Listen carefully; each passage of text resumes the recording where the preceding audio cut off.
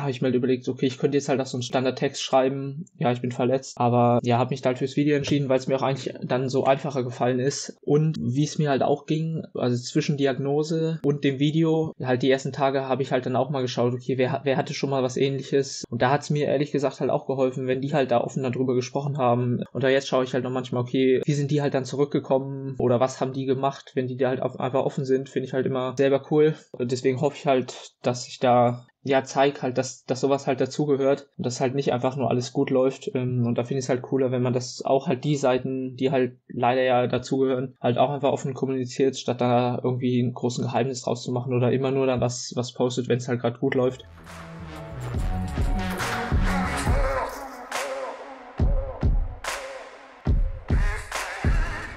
Ja, starke und ehrliche Worte von Profi-Triathlet Mika Not, die er hier mit uns teilt. Und genau da zoomen wir jetzt mal in die nächsten 90 Minuten näher rein. Also, erstmal von mir, hi und herzlich willkommen zurück beim War das Los Interview Podcast. Mein Name ist Sören und ich treffe mich hier in Staffel 1 mit 10 Profisportlerinnen und Insidern aus der deutschen Triathlon-Szene, um mal so richtig in deren Alltagsmomente, Kopfkino und Ziele reinzuzoomen. Und vielleicht auch mal die ein oder andere Perspektive zu ergattern, die bisher auf Social Media und Co. noch nicht gezeigt wurden. Ja, also in dieser achten Folge gibt es ein Novum und zwar ist die eigentlich gar nicht geplant gewesen. Aber dann hatte ich Mikas Instagram-Post äh, mit der Bekanntgabe seines Knochenmarködems gesehen und dachte mir einfach, oh man krass, da muss man eigentlich mal näher reinzoomen. Und äh, ich glaube, ich kann jetzt schon mal vorwegnehmen, dass das ein echt spannendes Gespräch war und äh, trotz der Blockbusterlänge ein kurzweiliger Talk. Und wir dann so vor uns hergeplaudert haben und äh, ich dann irgendwann so meinte, ja komm, jetzt äh, wir, wir starten einfach mal mit der Aufnahme.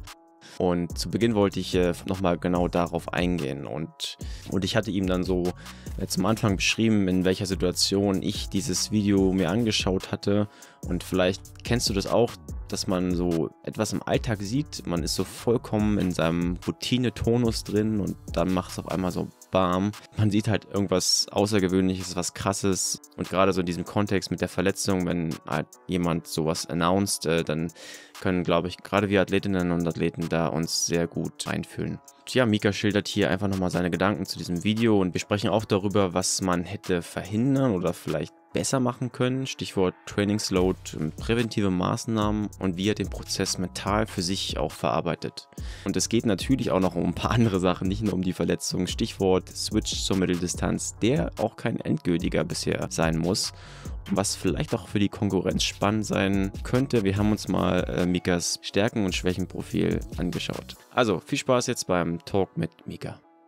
Ja, für mich war es auf jeden Fall auch äh, gerade davor halt erstmal eine ziemlich schwere Zeit. Ähm, also ich hatte dann halt ein paar Tage vorher eben die Diagnose bekommen, ähm, was es dann tatsächlich halt gerade ist. Ähm, und ja, dann äh, wollte ich natürlich jetzt nicht sofort, also mir war eigentlich direkt klar, so okay, ich, äh, klar, ich muss das ja irgendwie äh, öffentlich machen.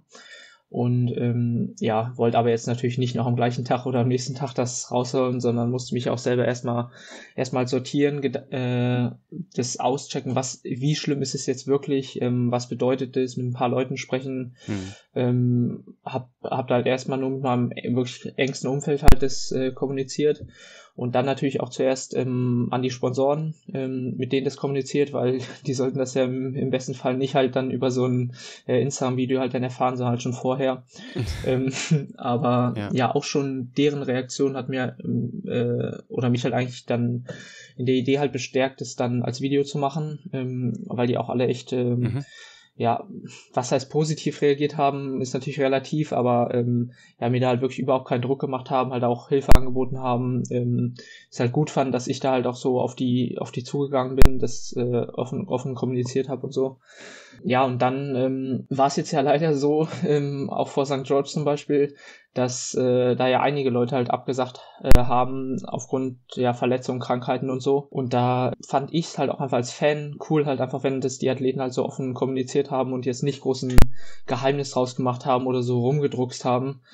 Hm. Ja, dann dachte ich mir halt, äh, das finde ich cool, wenn es andere so machen und dann, wieso soll es nicht halt auch so machen? Und dann war halt, äh, habe ich mir halt überlegt, okay, ich könnte jetzt halt auch so ein Standard irgendwie Standardtext schreiben. Ja, ich bin verletzt, aber äh, ja, habe mich da halt fürs Video entschieden, weil es mir auch eigentlich dann so einfacher gefallen ist, als einfach nur so einen Text halt zu schreiben. Mhm. So konnte ich noch ein bisschen ausholen ja, habe mir halt gedacht, okay, wenn es nicht interessiert, der kann ja auch einfach nur kurz den Text halt runterschreiben, äh, wo ich halt das kurz zusammengefasst habe. Aber anscheinend hat es doch ein paar Leute halt interessiert, dann, ähm, dass sie noch genaueres wissen wollten. Und ähm, wie es mir halt auch ging, also zwischen Diagnose ähm, und dem Video, halt die ersten Tage habe ich halt dann auch mal geschaut, okay, wer, wer hatte schon mal was ähnliches? Ähm, und da hat es mir ehrlich gesagt halt auch geholfen, wenn die halt da offen darüber gesprochen haben. Ähm, und da jetzt schaue ich halt noch manchmal, okay, ähm, wie sind die halt dann zurückgekommen ähm, oder was haben die gemacht, wenn die da halt auf, einfach offen sind, finde ich halt immer selber cool. Und deswegen hoffe ich halt, dass ich da, ja gut, das heißt anderen helfen, das ist jetzt vielleicht ein bisschen zu, zu hoch gegriffen, aber zumindest halt einfach ähm, ja, zeig halt, dass, dass sowas halt dazugehört und dass halt nicht einfach nur alles gut mhm. läuft. Ähm, und da finde ich es halt cooler, wenn man das auch halt die Seiten, die halt leider ja dazugehören, halt auch einfach offen kommuniziert, statt da irgendwie ein großen Geheimnis draus zu machen oder immer nur dann was, was postet, wenn es halt gerade gut läuft. Ja, war ja auch, wie du schon gerade sagtest, krasses Feedback äh, und natürlich auch Anteilnahme. Ja, du hast ja da schon auch ähm, ja, lass uns gleich nochmal vielleicht so Stichwort vielleicht Learnings oder wie auch immer man das ausdrücken möchte, nochmal kurz drüber reden. Aber du hast ja dann auch in dem Video von so diesen drei Punkten gesprochen und die schon mal so skizziert. Also das eben klar, also, also was ist jetzt so die Ursache vielleicht gewesen? Da kannst du es ja auch noch nicht ganz so deuten. Das ähm, fand ich halt gut, wie du das auch so strukturiert hast, dann nur das Mentale und dann, dann klar, muss auch irgendwie so, was, was passiert jetzt so reha-technisch. Jetzt sind wir ein paar Wochen weiter. Du warst ja auch gerade, ähm, kannst du auch gerne mal erzählen, jetzt in Hamburg. Hast du da bei den drei Punkten für dich schon so Klarheit schaffen können oder ein bisschen mehr Klarheit schaffen können? Ähm, ja, ja, also so viel Klarheit, denke ich, wie, wie gerade ähm, halt noch geht. Also zur Diagnose erstmal, da ähm, hat auch tatsächlich halt das Video wirklich geholfen, dass einfach daraufhin mir dann noch Leute geschrieben haben, ähm, noch Hilfe angeboten haben, ähm, irgendwie Kontakte hergestellt haben. Ja, so konnte ich jetzt auch nochmal wirklich einen Experten, die auch tatsächlich halt im Sport sind oder sich im Sport gut auskennen, darüber eben sprechen, weil es ist natürlich schon nochmal was anderes, ob man jetzt zu einem ganz normalen Orthopäden geht, der sonst mit hauptsächlich irgendwie, weiß ich nicht, Knie, Knie, äh, Hüfte bei 60-Jährigen ähm, zu tun hat oder halt äh, jetzt noch einem jungen Athleten. Klar, der, der ist natürlich super konservativ, was man was ja auch jetzt gar kein Vorwurf so, sein soll. Ich meine, an seiner Stelle würde ich jetzt ja auch nicht sagen, ja, guck mal, dass du möglichst schnell wieder reinkommst, sondern er sagt natürlich, ja, mach einfach erstmal zwei, drei Monate gar nichts und dann, dann ist gut so. Aber ähm, ja, deswegen war es halt cool, ähm, dann da die Möglichkeit zu haben, mit Orthopäden zu sprechen, die sich halt auch im Sport auskennen, ähnliche Fälle schon mal hatten, weil man muss ja auch sagen, das ist jetzt ja nichts Ungewöhnliches. Also ähm, gerade auf dem Niveau, denke ich, oder weiß ich, haben das ja leider ziemlich viele. Und genau, also kam ich da in der. Kannst du mal beschreiben, was, was das. Mhm. Ja, kannst du mal beschreiben, was es genau mhm. ist? Ähm, sorry, dass ich hier gerade reingeredet ja, habe. Ähm, also es ist ein Knochenmarksödem im Beckenring. Also es ist jetzt nicht so, dass es an einer ganz speziellen Stelle ist, sondern an mehreren Stellen. Das heißt, man umgangssprachlich würde mal sagen, das Becken ist überlastet. Mhm. Und Knochenmarksödem sind so ist quasi die Vorstufe von einem Ermüdungsbruch, dass der Knochen eben schon nachgibt und ähm, dadurch dann so Wassereinlagerungen äh, da passieren im Knochen. Und hätte ich jetzt eben dann nicht weitergemacht, wäre es dann wahrscheinlich irgendwann zum Ermüdungsbruch gekommen. Mhm. Das ist halt so die offizielle Diagnose, aber ist ja natürlich jetzt dann die Frage, wie man das dann genau interpretiert. Es war mir vorher auch echt nicht so nicht so klar. Das äh, ist jetzt auch tatsächlich meine erste Verletzung. Also ich hatte die, seitdem ich mit Triathlon angefangen habe, nie Verletzungsprobleme. Vielleicht mal ein, zwei Tage, aber tatsächlich nicht mal so, dass ich mal eine Woche oder zwei Wochen rausnehmen musste. Das kam auch nie vor. Ähm, von daher hm. äh, habe ich mich mit sowas halt zum Glück noch nicht beschäftigen müssen. Aber ähm, ja, äh, merke jetzt halt einfach, dass es nicht so ist, wie man es eigentlich wünscht oder ähm, wie es vielleicht ganz cool wäre, dass einfach so einer sagt, okay, hier ist genau der Plan und genau so läuft es jetzt halt ab, sondern es, hm. ist, es ist halt einfach ähm, ja. viel letztendlich immer noch Verantwortung, die ich dann übernehmen muss, sage ich mal, dass ich einfach jetzt, äh, so weit bin ich jetzt noch nicht, aber wenn es dann irgendwann in die Richtung geht, mal wieder Alter G laufen, dass man da halt so sagt, okay, wir können jetzt nicht sagen, mach so, dann nächste mhm. Woche so viel, dann so und so viel, sondern ist halt immer dieses äh, schmerzadaptierte Training dann, dass ich halt mhm. wirklich schauen muss, okay, tut's wirklich nicht weh, tut's am Abend danach nicht weh oder am Morgen ähm, danach nicht weh. Also ja, so, ein, so einen genauen Fahrplan wie es mir ehrlich gesagt auch äh, vorgestellt hatte, ähm, dass es so ist, ja, gibt gibt's halt einfach nicht. Und genau, aber auch da ist halt dann, sowas sagt einem halt jetzt auch nicht der klassische Orthopäde, sondern ähm, das waren halt wirklich dann die Leute, die halt im Sport dann so, so drin waren. Also genau so viel halt zur, zur Diagnose und ähm, zum näheren Fahrplan erstmal. Also mhm. ja, jetzt äh, konnte ich die letzten Tage und Wochen ähm, schwimmen schon wieder ganz gut. Ähm, halt primär Arme. Ah, ähm, okay. ähm, also halt viel mit Pulver und so einem Band. Äh, ja, macht, macht nicht so, Sehr macht gut. nicht so super viel Spaß, aber äh, ist auf jeden Fall deutlich besser, auch allein für den Kopf schon, wenn man überhaupt irgendwas machen kann. Ja. Und ja, auch das kann man ja als, als Chance sehen, weil äh, das ist jetzt nicht gerade so meine Stärke, äh, Pelz und Band. Ähm, aber ja, jetzt wird halt das mal besser und wird dann langfristig sicherlich halt auch, äh, auch nicht schaden, wenn ich das halt dann, wenn ich da jetzt ein paar Sprünge mache. ähm, und äh, mhm. ja, genau, Athletik geht auch schon viel für den, für den Oberkörper. Gerade jetzt so die Hilfsmuskeln für die Schulter zum Beispiel, ähm, so Antagonistentraining viel machen kann. Ähm, was ja auch so Sachen sind, mhm. wo man sonst echt nicht so viel Bock drauf hat. Ähm, aber auch da ist jetzt halt einfach so, jetzt merkt man einfach, okay, ich bin froh um alles, was ich machen kann und mache das jetzt halt super gern. Ja. Ähm, und, und auch das kann man ja auch wieder als Chance sehen, so. Und ja, so, so probiere ich das halt zu machen. Ja, also wir hatten ja auch gesagt, ähm, ich hatte ja mal die Leute gefragt, so ein bisschen wegen äh, Fragen, ob sie dich gerne was fragen wollen würden. Und äh, hatte einer, das passt gerade ganz gut, auch gemeint, ähm, der, der Kriechler nennt er sich auf Instagram, ähm, nur mal den Namen zu erwähnen. Wie du das regelst, jetzt hast du es ja schon angedeutet, du warst jetzt auch beim Facharzt mit, ähm, er meinte, wie du es regelst mit zeitnahen Facharztterminen weil du hast es schon gesagt, ich stelle mir das echt krass vor, weil du hast eben nicht diesen einen Fahrplan und das ist ja auch mental mhm. belastend. Jetzt musst du gucken, okay, was machst du wann? Wo musst du hin? Jetzt hast du ja sicherlich schon so einen kleinen Fahrplan auch von denen mitbekommen, wo du jetzt warst. Hast du jetzt schon Termine, die jetzt dann anstehen oder ist es jetzt erstmal, dass du wirklich selber auf dich gestellt bist? Ähm, also ich habe einen Termin, der auf jeden Fall schon feststeht, das ist halt das Kontroll-MRT. die hm. Diagnose habe ich eben über ein MRT bekommen, das ist so da der, der Goldstandard. Also über Röntgen sieht man sowas meistens nicht, sei denn es ist schon wirklich extrem, aber so war es ja bei mir zum Glück noch nicht. Ähm. Von daher habe ich eben das nächste MRT, was dann ähm, Ende Juni ist. Also ich glaube, es sind dann fünf oder sechs Wochen dazwischen. Da sieht man hoffentlich schon Vorspr mhm. Fortschritt. Ähm, ganz weg wird es wahrscheinlich noch nicht sein, haben mir auch schon einige gesagt, einfach weil der Knochen ja wirklich ziemlich lange Zeit, Zeit braucht. Aber auch das können dann ja dann die verschiedenen Experten halt wieder interpret interpretieren und halt sagen, okay, das sieht gut aus oder nee, mach doch noch mal ein bisschen langsamer. Also das ist so der nächste wirkliche Fix, mhm. Fixpunkt, den ich habe. Ja, und bis dahin ist wirklich viel einfach dieses schmerzadaptierte ähm, Belasten. Und ähm, ja, so der nächste große Schritt für mich ist halt dann, das, dass ich dann mit dem Radfahren äh, einsteigen kann, wo ich dann eigentlich schon ein ganz gutes Gefühl habe, dass das dann äh, gut gehen wird, aber halt auch erstmal dann werde ich so mit 30 Minuten einsteigen, dann halt gucken am, äh, am Abend, am Morgen tut's weh und dann halt das einfach so langsam steigern.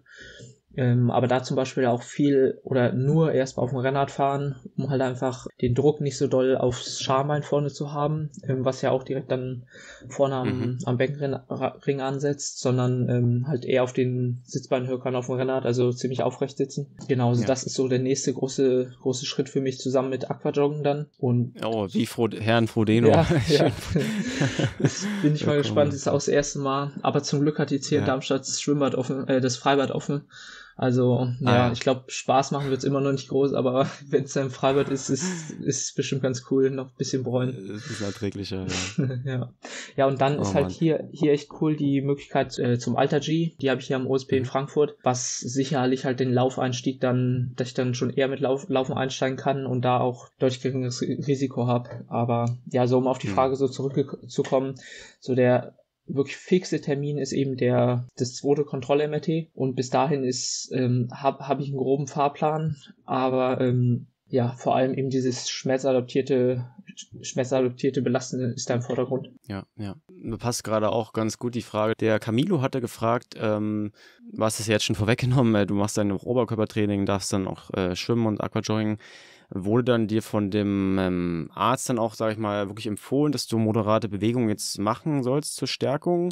Weil die Frage war halt, ob es eben komplette Ruhestellung äh, vorgegeben ist oder eben moderate Bewegung. Ja, ähm, gerade von den Orthopäden, die eben im Sport sind, wird, wird mir wirklich ähm, ans Herz gelegt, mich zu bewegen, um ja, um einfach so den Stoffwechsel generell ein bisschen am, am Laufen zu halten, um halt auch andere Strukturen weiterhin zu belasten, weil ich sag mal, wenn ich jetzt zwei Monate gar nichts machen würde und dann wieder anfangen würde mit Schwimmen zum Beispiel, dann hätte ich wahrscheinlich erstmal Schulterprobleme eine Woche später. Also alles, was geht, schon auf jeden Fall aufrechterhalten und ja, das gleiche eben mit dem Radfahren, dann, ähm, weil ja auch da zum Beispiel so das Knie, dass das halt einfach dann äh, weiter belastet wird und so. Äh, genau, also das, das wird mir definitiv empfohlen. Aber auch da jetzt nicht, jetzt nicht dann äh, komplett durchdrehen, also jetzt nicht direkt 50 Kilometer schwimmen pro Woche, weil der Körper ja auch schon ähm, eine gewisse Ruhe auch brauche, um so einen Knochen wieder aufzubauen und halt auch viel Energie. Also wenn ich da jetzt dauerhaft in so einem Energiedefizit wäre, ähm, weil ich jetzt extreme Umfänge halt machen würde in den anderen Disziplinen, dann wäre das sicherlich halt auch nicht, äh, auch nicht gerade zuträglich vom, äh, für den Knochenaufbau. Also ja, auch da wieder äh, mit gesundem Menschenverstand äh, an die Sache rangehen. Hm, ja, ja, das ist äh, nicht leicht wahrscheinlich. Du hast ja auch ähm, in dem Video, und auch der zweite Aspekt war ja das Mentale. Mhm. Ja, da hast du ja auch so ein bisschen schon drüber so gesprochen, äh, dass eben, ja, jetzt, klar, du versuchst halt positiv zu bleiben und äh, so das erstmal kommen zu lassen, loszulassen und dir eben nicht diesen Druck aufzuerlegen. Da habe ich mich gefragt, so, also das wirkt ja schon sehr, so, sag ich mal, alles durchdacht, ob du dich schon auch wirklich damit mal vorher schon auseinandergesetzt hast. Hm, ähm, nee, habe ich vorher nicht. Generell so äh, Mentaltraining habe ich äh, habe ich jetzt noch nicht an, bin ich noch nicht angegangen. Nicht nicht weil ich jetzt mhm. davon nichts halte oder so. Also ähm, ich glaube schon, dass man davon durchaus profitieren kann. Aber ähm, ja, das äh, war bisher noch nicht halt so einfach auf meiner auf meiner Agenda. Und mhm. da so gerade was das Mentale angeht, muss ich echt sagen, ist hier der Trainer aus Darmstadt, der Benny ben, Benny, also Benjamin Knoblauch, äh, echt echt mhm. richtig gut. Also äh, ja, sowas, das kann er wirklich saugut, ähm, sowohl für die ganze Gruppe als aber halt auch für einen individuell, dass er ein, einfach da halt so, ja, einfängt in solchen Situationen, überhaupt keinen Druck macht ähm, und halt auch, ja, gerade wenn es halt mal nicht gut läuft, echt immer die richtigen Worte findet und wir da, äh, ja, halt wirklich eine gute, äh, ein gutes Verhältnis so äh, haben, gerade eben was das Mental angeht, dass er mich da gut, gut an die Hand, Hand nimmt, wirklich halt, sage ich mal. Das hilft auf jeden Fall und äh, genauso die wichtigen Punkte sind oder waren jetzt wirklich für mich dieses Loslassen, dass ich jetzt halt nicht sage, okay, ich will dann und dann oder ich muss jetzt krampfhaft irgendwie die Form aufrechterhalten,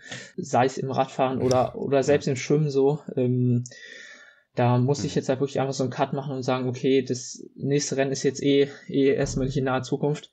Ähm, da bringt es jetzt nicht, sich deswegen auch noch zu, zu stressen irgendwie und jetzt dauerhaft auf die Zeiten zu gucken, sondern einfach mal halt, ja, bisschen, bisschen loslassen und sich halt die Energie aufsparen für, wenn ich dann wieder ähm, bei 100 Prozent bin und die Wettkämpfe näher rücken, dass ich dann halt wirklich voll, voll mental da bin. Hm. Genau, das, das war halt wirklich wichtig. Ähm, und auch da hat mir halt geholfen, da einfach mit anderen Leuten zu sprechen. Das erste, das erste Mal, ich gemerkt habe, okay, es ist wirklich, was heißt, es ist nicht so schlimm, aber äh, so im ersten Moment äh, am, am Tag von der Diagnose und so am Tag danach dachte ich echt, ey, scheiße, das, die Leute so, äh, keiner jetzt glaubt mehr an mich oder so. Ähm, aber da, äh, Ach, wirklich, ja, ja, es ist, ja, okay. es war, ja, es, ja, war, war schon echt nicht so cool.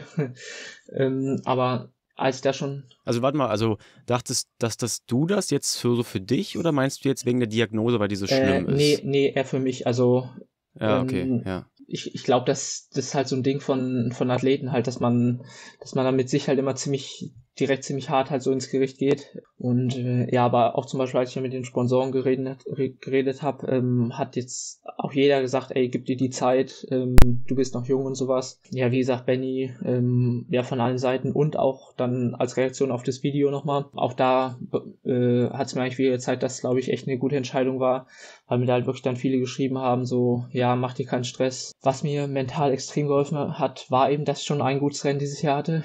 Ähm, also ich glaube, wenn ich jetzt so, oh ja. wenn ich jetzt halt so mit gar nichts dastehen würde, ähm, ja, wäre es schon nochmal deutlich härter. Ähm, dann würde ich vielleicht noch, noch mehr Sachen jetzt irgendwie hinterfragen. Aber so, äh, ja, so geht's einigermaßen. Mhm, ja, also wie gesagt, ja, ich finde das echt klasse, ja, wenn man da wirklich dann auch mit Leuten sich austauschen kann, die vielleicht auch das schon mal erlebt haben. Ich persönlich äh, kann mit der Letz Verletzung, äh, muss ich ja sagen, glücklicherweise auch leider gar nichts anfangen. Man hört ja immer so von, ich hatte auch schon irgendwie Schienbeinkantensyndrom und Läuferknie und was es da alles gibt. Äh, oder auch, jetzt ist ja gerade auch leider sehr präsent dieses, ähm, ja, die Achillessehne. Mhm. Und äh, hat man ja auch den einen oder anderen. Und ähm, jetzt, es, es klingt vielleicht so blöd, aber kannst du vielleicht jetzt schon in der relativ kurzen Phase so sagen, was oder in der Retrospektive jetzt auch vielleicht von den Tipps und so, was man jetzt besser machen hätte können oder hätte man was besser machen können oder ist es auch so eine tückische Sache, dass man da jetzt auch nicht so wirklich drauf reagieren hätte können? Mm. Du meinst, ähm, als. Also, also ich glaube, ähm, ja, du hattest ja auch mal hier und da schon, ich hatte mir auch den, äh, den Podcast mhm. mit Simon angehört, äh, Muskelmeisterei. Mhm. Und da hattest du nur mal so gemeint, so dass es hier und da so ein bisschen zwickt halt. Äh, ich weiß nicht jetzt, ob es darauf bezogen war. Weil oftmals ist es ja so, dass man doch sagt, ja, okay, hier und da haben wir Wehchen. Weißt du, also ob man das irgendwie so ein bisschen dingfest machen kann, weil, wie gesagt, für mich ist die Verletzung halt echt so, boah, ich kann damit gar nichts anfangen. Okay, ja, ja, ja, ja, okay, dann weiß ich, was du meinst. Ähm, aus der, aus der Sicht würde ich sagen, nee, tatsächlich. Also ähm, die, was ich da bei Simon meinte, das war eher so halt aufs Gesundheit, also auf so krankheitsmäßige mäßig bezogen. Also da hatte ich einfach in der Woche habe ich mich schon nicht so gut gefühlt und dann wurde ich auch noch, noch dollarkrank, weswegen ich halt Buschhütten dann absagen musste. Also ich glaube, okay. wirklich in der unmittelbaren Zeit vor der Diagnose habe ich schon ganz gut reagiert, dass ich eben ehrlich zu mir selbst war und dann relativ früh die Reißleine gezogen habe. Also ich hatte eigentlich nur zwei Läufe, wo ich es wirklich gemerkt habe. Äh, die Schmerzen dann, weswegen ich da dann halt auch beim, beim Orthopäden war musste auch die zum Beispiel nicht abbrechen, sondern es hat sich einfach nur komisch angefühlt. Ähm, und dann dachte ich, okay, ich lasse jetzt halt lieber abchecken. Okay, also ich glaube, da hätte ich äh, in der Vergangenheit schon, äh, wäre ich da noch deutlich länger drauf rumgelaufen. Ähm, und ja, auch da muss ich halt sagen, bin ich einfach super dankbar, wie schnell es dann alles ging. Ähm, Gerade mit dem Termin fürs MRT, den, das ich dann auch noch am gleichen Tag bekommen habe. Oh, krass, da, ja. Das ist ja nicht selbstverständlich. Ja, auf jeden Fall. Und da bin ich mir halt auch echt bewusst, dass da andere Leute oder ich an anderen, bei anderen Ärzten hätte deutlich länger darauf warten müssen. Und äh, ja, dann, ja, wer weiß halt, äh, was ich dann in der Zeit gemacht hätte und ob es dann nicht wirklich dann vielleicht doch eine, eine Stressreaktion schon äh, oder ein Ermüdungsbruch halt gewo geworden wäre. Mhm. Also glaube ich, dass ich da schon da jetzt unmittelbar keine Fehler gemacht habe. Und auch generell glaube ich, ist Fehler vielleicht in dem Sinne das falsche Wort, weil, mhm. ähm, ja, wie gesagt, äh, auf dem Niveau, ähm, wo ich mich jetzt halt mittlerweile, denke ich, bewege, ähm, muss man halt wirklich ziemlich nah ans Limit gehen, ähm, um mhm. halt dann äh, ja halt vorne mitspielen zu können. Was ich jetzt so retrospektiv vielleicht sagen wird, dass ich ja in den, also generell muss man vielleicht noch sagen, ähm, dass ich so eine, so ein Knochenmarksödem, das ist jetzt nicht eine Sache von irgendwie einer Woche, dass ich jetzt sage, okay, eine Woche vorher war irgendwas und deswegen kam das, äh, mhm. kam die Stressreaktion, sondern das erstreckt sich über viele, viele Wochen schon vorher und ähm, ist ja auch jetzt nicht irgendwas was akutes, sondern eben so was chronisches, immer ein bisschen zu viel. Ähm, und da glaube ich eben, dass dass ich ein bisschen zu viel Zug auf der direkt da ähm, angrenzenden Muskulatur hatte, ähm, also zum Beispiel so Leistenbereich und sowas, einfach ja durch durch sehr durch sehr hohe Trainingsvolumen. Ähm, dann war ich zum Beispiel vor Gran Canaria drei Wochen auf Mallorca im Trainingslager, wo ich nur das Zeitfahrrad mit mit äh, mit hatte, ähm, weil ich halt nur ein Rad mitnehmen konnte und da halt dann Gran Canaria anstand, dachte ich mir, okay, oder ich denke, das war auch die richtige Entscheidung, halt Zeitfahrrad mitzunehmen, einfach um sich an die Position zu gewöhnen. Da ist natürlich auch dauerhaft ziemlich, ziemlich großer Druck vorne auf dem Schambein, ähm, einfach der Sitzposition geschuldet. Ähm, und in Kombination damit, dass man da halt einfach auf einem kleinen Hotelzimmer ist, ähm, ja, fallen dann so eine Sachen wie vielleicht vor der oder nach der Einheit mal kurz äh, durchdehnen oder sowas, fällt dann eher mal weg, habe hab ich jetzt so mhm. das, äh, die Erfahrung gemacht, sondern dann gehe ich halt einfach schnell zum Buffet, so zieh mich um, äh, dusche mich schnell und dann erstmal halt ab zum Buffet, wo ich halt hier zu Hause, wo ja alles an einem Ort ist in meiner Wohnung, mhm. dann vielleicht mir halt nochmal eher Zeit genommen hätte für sowas. Ja, also ich glaube insgesamt sind es halt einfach so viele kleine Sachen, aber jetzt kein, kein krass großer Fehler die, ja, die halt dann letztendlich zu sowas geführt haben. Man muss auch sagen, dass so allgemeiner Stress sich halt auch auf sowas auswirken kann. Also das natürlich jetzt auch wieder nicht als, als die Ursache, ähm, aber hat vielleicht auch so einen kleinen Anteil wieder. Und ja, auch da äh, für die Zukunft halt einfach äh, denke ich, noch mehr auf, äh, auf diese kleinen, auf diese kleinen Sachen eben dann achten. Genau, und dann, äh, ja, ho hoffentlich kommt das dann erstmal, erstmal nicht mehr vor. Ja, das ist vielleicht auch so ein bisschen der Appell, wie man, dass man so ein bisschen blöd sagen will, oder dass man halt frühzeitig die Reißleine zieht. Ähm, Gerade bei sowas, was ja auch ja, so was Chronischem halt, was sich auch langsam mhm. entwickelt und vielleicht auch gar nicht so Schmerzen hat. Also ich hatte auch schon mal so eine Ohrenentzündung äh, und das war dann auch nicht schmerzhaft, aber das wurde dann irgendwann eine chronische Ohrenentzündung äh, und dann, ja, haben ja auch viele Schwimmer, habe ich ja dann auch mitbekommen, so, dann hast du halt nicht schwimmen können und dann hast du diese Ohrenstöpsel da bekommen, die du dir mhm. anfertigen lassen musst. Äh, also das ist dann irgendwie auch nervig. Also das ist vielleicht so eine Sache, nicht, dass man da, auch wenn das ist immer doof, so nicht. Du hast es ja jetzt wirklich vorbildlich, sage ich mal, Lehrbuch auch gemacht, da wirklich, mhm. du hast, du musstest ja dann die Einheit nicht mal abbrechen sozusagen. Äh, und das dann zum Arzt gegangen bist, dann. Äh, wann geht's mit Aquajogging los? äh, ich leih mir morgen von einem Kumpel den Gürtel. Also ab morgen okay. habe ich einen Aquajogging-Gürtel. Äh, ich, äh, ich spreche da auch morgen nochmal mit einem äh, Orthopäden, aber ich denke mal, dann werde ich jetzt die Tage einfach mal einfach mal halt probieren. Wie gesagt, ganz ganz ganz wen, äh, ganz kurz erstmal nur einsteigen und dann halt schauen mhm. schauen, wie es ist. Aber ja, ich denke mal. Äh, spätestens am Anfang kommender Woche werde ich da mal, da mal mit einsteigen. Sehr cool. Ja, dann geht's, äh, geht's auch wieder mental ein bisschen mhm. bergauf. Äh, genau, also wir wollen nicht zu lange drauf rumreiten, aber ich glaube, es ist doch nochmal interessant und vielleicht auch für den einen oder anderen äh, da auch nochmal spannend, einfach damit zuzuhören. Äh, mir war es so noch nicht so bewusst, so diese Art von Verletzungen. Ähm, aber lass uns mal vielleicht, oder sag mal so, der zweite Grund, warum wahrscheinlich jetzt hier Leute zuhören, ist wahrscheinlich auch jetzt wegen der Vergangenheit, hm. äh, weil du ja schon das ein oder andere Mal in den Schlagzeilen jetzt warst in den Triathlon-Medien. 2021 war ja auch so dein Durchbruchsjahr. Ich habe gehört, der Simon äh, meinte auch, du bist der Killer auf der Mitteldistanz. Hat da so ein bisschen das Schlagwort gegeben. Und was ich auch interessant fand, wenn man mal so ein bisschen bei deinem Instagram-Kanal guckt, unter den, da sind auch sehr prominente Kommentatoren dabei. Äh, wie zum Beispiel der, der Andi Böcherer, der ja auch äh, schon irgendwie von Notaktien oder so erzählt hat, die er gerne kaufen wollen würde. Ja, aber um da mal vielleicht so ein bisschen so einzuhaken, also du hast ja dann auch in den, in Les Sable Odon, heißt mhm. es, glaube ich. Ja. Hast du, das war ja dann so der erste große Sieg, glaube ich. Und was ich auch interessant fand, so, du meintest dann, glaube ich, wenn ich das jetzt so richtig noch im Kopf habe, dass du dich da vorher auch so nur so ein paar Wochen auf dem TT so vorbereitet hast, sozusagen. Vielleicht kannst du uns da so mal kurz abholen. Also, ich habe das jetzt auch gerade von dem äh, Justus Nieschlag gehört, der jetzt auch äh, Furios dann Kraichgau gewonnen hat und jetzt auch sich mehr oder weniger nur mal ganz kurz draufgesetzt hat.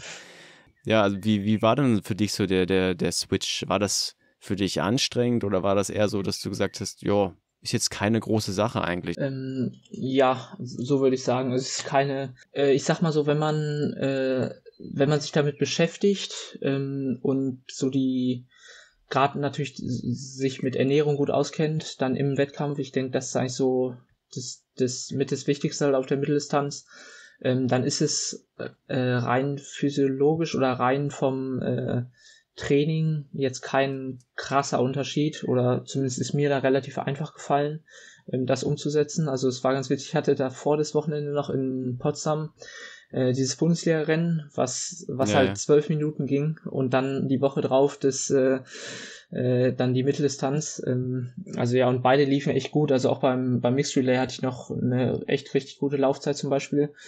Also ja, ging das, bei, ging das anscheinend beides gut, ähm, auch wenn man es jetzt nicht unbedingt denken würde. Äh, ähm, ja, von daher kann ich für mich jetzt nur sagen, dass es jetzt äh, für mich jetzt kein, kein krasser Switch ist oder kein, kein schwieriger Switch, sage ich mal. Klar, ist was komplett anderes, aber ja, mir fällt es eigentlich immer echt, echt gut äh, oder echt einfach. Auf der anderen Seite sieht man jetzt zum Beispiel auch hier in, auf Gran Canaria, wo der, ja, der äh, Jonathan Brownlee auch im Start war, dass anscheinend dann halt doch nicht jeder hinkriegt oder es dann vielleicht doch nicht so ja. einfach ist.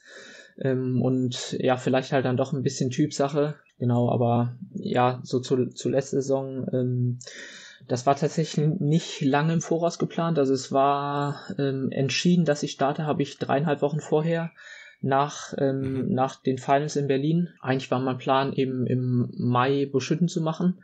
Halt einfach mal um Non-Drafting-Rennen zu machen ähm, mit einem guten Starterfeld. Und das ist halt leider abgesagt worden wegen Corona. Und dann hatte ich ähm, Berlin als, als erstes Rennen. Und ähm, hatte dann eben im, das war Anfang Juni und hatte dann so äh, mir überlegt, okay, der Juli, da habe ich noch nichts, noch, noch nichts groß geplant. Entweder mache ich jetzt mhm. halt ähm, einen Europacup ähm, oder halt mal eine Mitteldistanz, weil äh, am liebsten hätte ich halt nochmal so ein Rennen wie Überschütten gehabt, einfach was, was gut besetzt ist. Aber das gab's, gab's jetzt Anfang Juli nicht. Ähm, und ja, dann vom Bauchgefühl her hatte ich schon das Gefühl, okay, die Mitteldistanz das könnte was werden. Und ähm, ja, habe dann halt Anfang Juni, wie gesagt, entschieden, das zu machen. Und äh, ja, habe dann, hab dann schon noch ein paar spezifische Einheiten gemacht und mich eben vor allem mit Sachen wie Ernährung beschäftigt ähm, und ja, halt einfach äh, wollte ich halt sicher gehen, dass ich jetzt keine dummen, dummen Fehler mache oder was heißt dummen Fehler oder halt keine, keine Fehler mache. Habe geschaut, okay, was haben andere für Fehler gemacht, äh, die ich dann ja nicht mehr machen muss. Weil, äh, wie, wie hast du das geschaut? Also, ja, äh, guck mal, manche tüfteln da ja, ich sag mal, gefühlt ein halbes Leben lang mhm. äh, und was ja auch klar, also es kommen halt immer wieder irgendwie neue, unerwartete Sachen dazu und du hast jetzt irgendwie so mhm. gefühlt äh, zwei, drei Wochen Zeit gehabt oder so. Also, wie, wie hast du dir da die Informationen rangeholt? Äh, gut, gut, das war jetzt nicht super aktiv. Ich, äh, ja, als Fan einfach so, äh, bin ich ja schon lange vom Triathlon und da ziehe ich mir halt eigentlich auch sau viele Interviews oder Podcasts und sowas rein. Und ja, da, da kriegt okay. man dann eben sowas mit. Wird ja häufig gesagt, so, okay. ah ja, hier, an die Kleinigkeit ist schiefgegangen und die Kleinigkeit ist, ist schiefgegangen und da dachte ich mir, okay, wenn das halt was, was, äh, was wird oder was werden soll, dann darf es halt bei mir einfach nicht passieren. Ähm, und äh, ja, äh, ich muss auch sagen, dass ich jetzt vom Typ halt da ähm, auch sonst schon in der Bundesliga nicht der Typ bin, der irgendwie da groß hektisch ist oder dem so, äh, ja, mhm. so kleine Fehler eben passieren, dass ich da eigentlich immer relativ sortiert bin und äh, mir das jetzt vielleicht oder wahrscheinlich halt auch auf der Mitteldistanz dann eben noch mehr zugutekommt als auf der äh, als auf der Kurzdistanz. Und also wenn ich das glaube ich richtig gehört habe, du meinst dann auch so, dass du im Verlauf dann auch natürlich auch vielleicht auch ein bisschen mit den Erfolgen, aber wahrscheinlich auch gar nicht mal nur den Erfolgen, sondern einfach das das Tun an sich auf der Mitteldistanz, dass du dann so gemerkt hast, das macht eigentlich auch schon Bock oder vielleicht sogar noch mehr Bock als wenn wir jetzt mal die Bundesliga nehmen oder Kurzdistanz Mhm. Kannst du das so mal kurz uns abholen, was genau das ist, was dich da jetzt dann vielleicht mehr catcht oder erstmal besonders catcht? Mhm. Ja, also ehrlich gesagt in erster Linie halt einfach, dass ich da besser bin. Also Gewinn macht, äh, Gewinn gut, macht ja. immer mehr Spaß als, als äh, Zweiter oder Zehnter zu werden. Ähm, also ja. das ist schon, das ist schon ehrlich gesagt einfach das Primäre. Ähm, ja. und, Absolut legitim, ja. Ja, ähm, nee, und dann so äh, ja, mich, äh, mich mit diesen vermeintlichen Kleinigkeiten zu beschäftigen, da so ein bisschen rumzutüfteln, das, das mache ich mhm. auch gern. Also ähm, ich glaube halt, dass man mit sowas auf der Mitteldistanz oder später Langdistanz, glaube ich, nochmal noch mal deutlich mehr halt einen Unterschied machen kann. Und ja, das, das liegt mir einfach aus vom Typ her, äh, mich damit zu beschäftigen, eben, wie gesagt, keine äh, keine Fehler zu machen. Und ähm, mhm. ja, also äh, auch im Rennen dann ähm, ist man eben weniger Passagier, weil äh, auf der Kurzdistanz ist es halt häufig so, dass man einfach nur reagiert und gar nicht groß agieren kann. Mhm. Ähm, es sei denn, es ist extrem überlegen, aber äh, ja, das gibt's ja heutzutage eigentlich kaum mehr gerade dann in internationalen Rennen muss man eigentlich häufig eben eben irgendwo mitgehen oder sowas. Und das ist halt da äh, auf den längeren Distanzen anders, dass man eben selber Entscheidungen treffen kann und muss.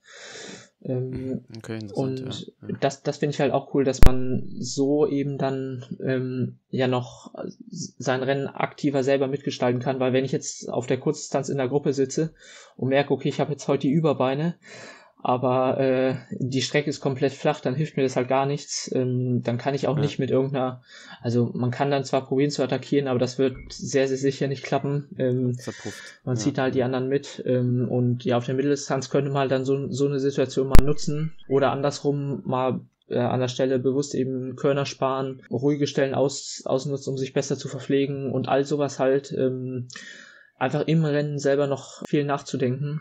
Finde find ich eigentlich cool und äh, ich glaube halt, das ist auch zum Beispiel das, auf was sich Simon da bezogen hat äh, mit dem Killer. Also, dass ich halt einfach schaffe, eben auf der Mitteldistanz, äh, bisher zumindest hatte ich da eigentlich immer gute Rennen. Also ich hatte jetzt vier Mitteldistanzen gemacht und die liefen alle echt richtig gut. Ähm, und ja, äh, ich glaube jetzt, jetzt nicht, dass ich da jetzt so rein physiologisch jetzt so über die, die Überwerte habe, ähm, oder ich, ich weiß es eigentlich. Und äh, ja, aber ich schaff's halt, äh, das, was ich halt kann, wirklich äh, dann immer ja, ziemlich nah ans Maximum halt auszureizen. Ja, und wahrscheinlich auch einfach konstant immer wieder ein gleiches Level, weil man hört ja leider so oft dann auch von Athleten, die dann, äh, wahrscheinlich ist auch wirklich so ein bisschen das Mentale, weil das Mentale ja zum Beispiel dann sich auch auf den Magen auswirkt und wenn du da sagst, du bist da ruhig oder kannst das für dich besser einnorden, so, dann ist das wahrscheinlich auch schon so ein kleiner ja, Gamechanger unter anderem. Ähm, ist es denn vielleicht, ich habe mir auch so gefragt, ist es jetzt, wenn man mal weggeht von dem, was dich motiviert, ist es auch so ein Aspekt, was vielleicht so ein bisschen nervig ist, so wenn man so bei Simon jetzt zum Beispiel gehört hat, äh, dass man muss ja schon so viel so rumtingeln, so nicht da mal ein Europacup und dann musst du da irgendwie Punkte sammeln, dann musst du aber auch im Kader bleiben. Mhm. Weißt du, äh, ist das auch so ein Aspekt oder ist das eher so, dass du sagst, das gehört dazu und das ist jetzt kein Problem so für mich? Ähm, ich glaube, das ist typabhängig. Also ähm, ich finde es so, ich finde schon besser so, wie es halt auf der Mitteldistanz ist. Also dass ich eher mhm. weniger Rennen habe und dann aber halt wirklich immer voll, voll abliefern ja, muss, sage ich mal. Also ist ja klar, wenn ich jetzt fünf Rennen mhm. habe, dann sollten jetzt nicht äh, vier davon in die Hose gehen. Aber wenn ich halt 20 Rennen habe äh, und dann die entscheidenden Rennen äh, oder halt ein paar Rennen abschließe, so, dann, dann ist es auch egal, wenn mal, wenn halt mal einige in die Hose gehen. Also das finde ich einmal gut und äh, auf was ich, auf was Simon halt auch bezieht, ist so dieses ähm, äh, mit der Verantwortung oder mit dem Verband äh, gegen, ähm, so ist ja auf der Kurzdistanz, dass man eben in, in, in so einem Verbandssystem ist und auf der Mitteldistanz mhm. ist man ja deutlich individueller und ähm, auch das würde ich jetzt nicht pauschal sagen, ist besser, ähm, auch wenn es von vielen so dargestellt wird, dass sie immer sagen, ah ja, du hast ja alle Freiheiten und so.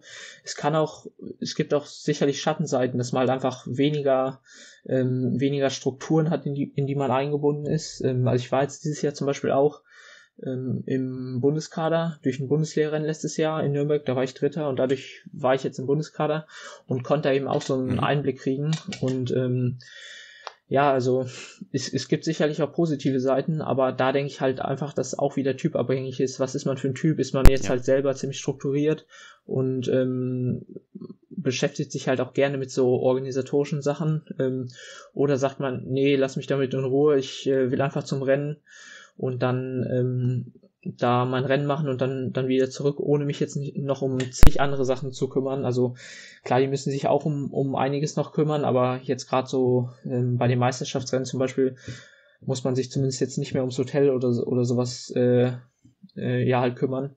Also ja, das hat alles sein Für und Wider und ähm, aber da muss ich sagen, äh, für mich persönlich kann ich wieder sagen, dass da eher dieses mehr Freiheiten haben ähm, und weniger Verpflichtungen jetzt ist, gefällt mir besser. Ja, ähm, ich mag das auch so mit diesem Rumtüfteln. Äh, man hört das ja auch mal wieder in Interviews. Ja, gerade der Sebastian Kien ist ja auch ein Fan von, immer mal hier und da eine Info zu droppen. Hm. Und vor allem auch interessant zu sehen, äh, wie marginal dann teilweise die Gains schon sind, was man da alles beachten muss. Äh, und ähm, ja, dann geht es ja dann wirklich auch schon da irgendwie um Windkanal und äh, wobei Windkanal ist wahrscheinlich dann eher so für die ganz Großen vorbehalten, aber Radbahn mhm. und so. Aber ähm, was mich dann mal noch interessieren würde, Mika, äh, du warst ja wie gesagt jetzt bei Simon zu Gast, äh, im Podcaster und äh, habt da so ein bisschen auch über deine, ja, einfach deinen Background gesprochen. Wenn wir jetzt uns nochmal so letzte Saison angucken und nachher auch schon wieder das erste Rennen diese Saison, dann hast du da ja echt krass abgeliefert.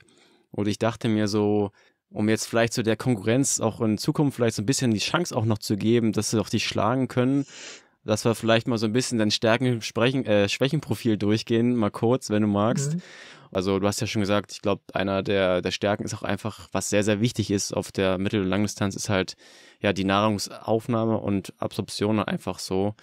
Ist es bei dir dann auch so, dass du zum Beispiel auch während des also am Wettkampftag oder auch davor auch gar nicht so ein Magengrummeln hast, was ja auch ganz, ganz viele Athleten berichten. Ich habe es leider auch mhm. hier und da mal. Ähm, vielleicht, weil man dann gerade den Kaffee weglässt, obwohl man den sonst immer trinkt, denke ich mir manchmal auch. Also das, hast du sowas oder ist es dann, dass du sagst, hey, easy? Ähm, nee, sowas habe ich nicht. Also ähm, easy würde ich trotzdem nicht sagen. Natürlich hab, bin auch ich angespannt und sowas, aber es wirkt sich jetzt zumindest nicht auf den Magen auf aus. Ähm, mhm. Jetzt weder vor noch im Rennen. Und ähm, ja, also würde ich voll mitgehen mit dem, was du schon meinst. Also ist die Stärke äh, auf jeden Fall halt so, was ja auf der Langdistanz als vierte Disziplin genannt wird, eben so die Ernährung ist. ähm, Ernährung und vielleicht einfach noch so das taktische Verhalten im Wettkampf, dass das so, ja, sage ich halt mal, die Stärke ist.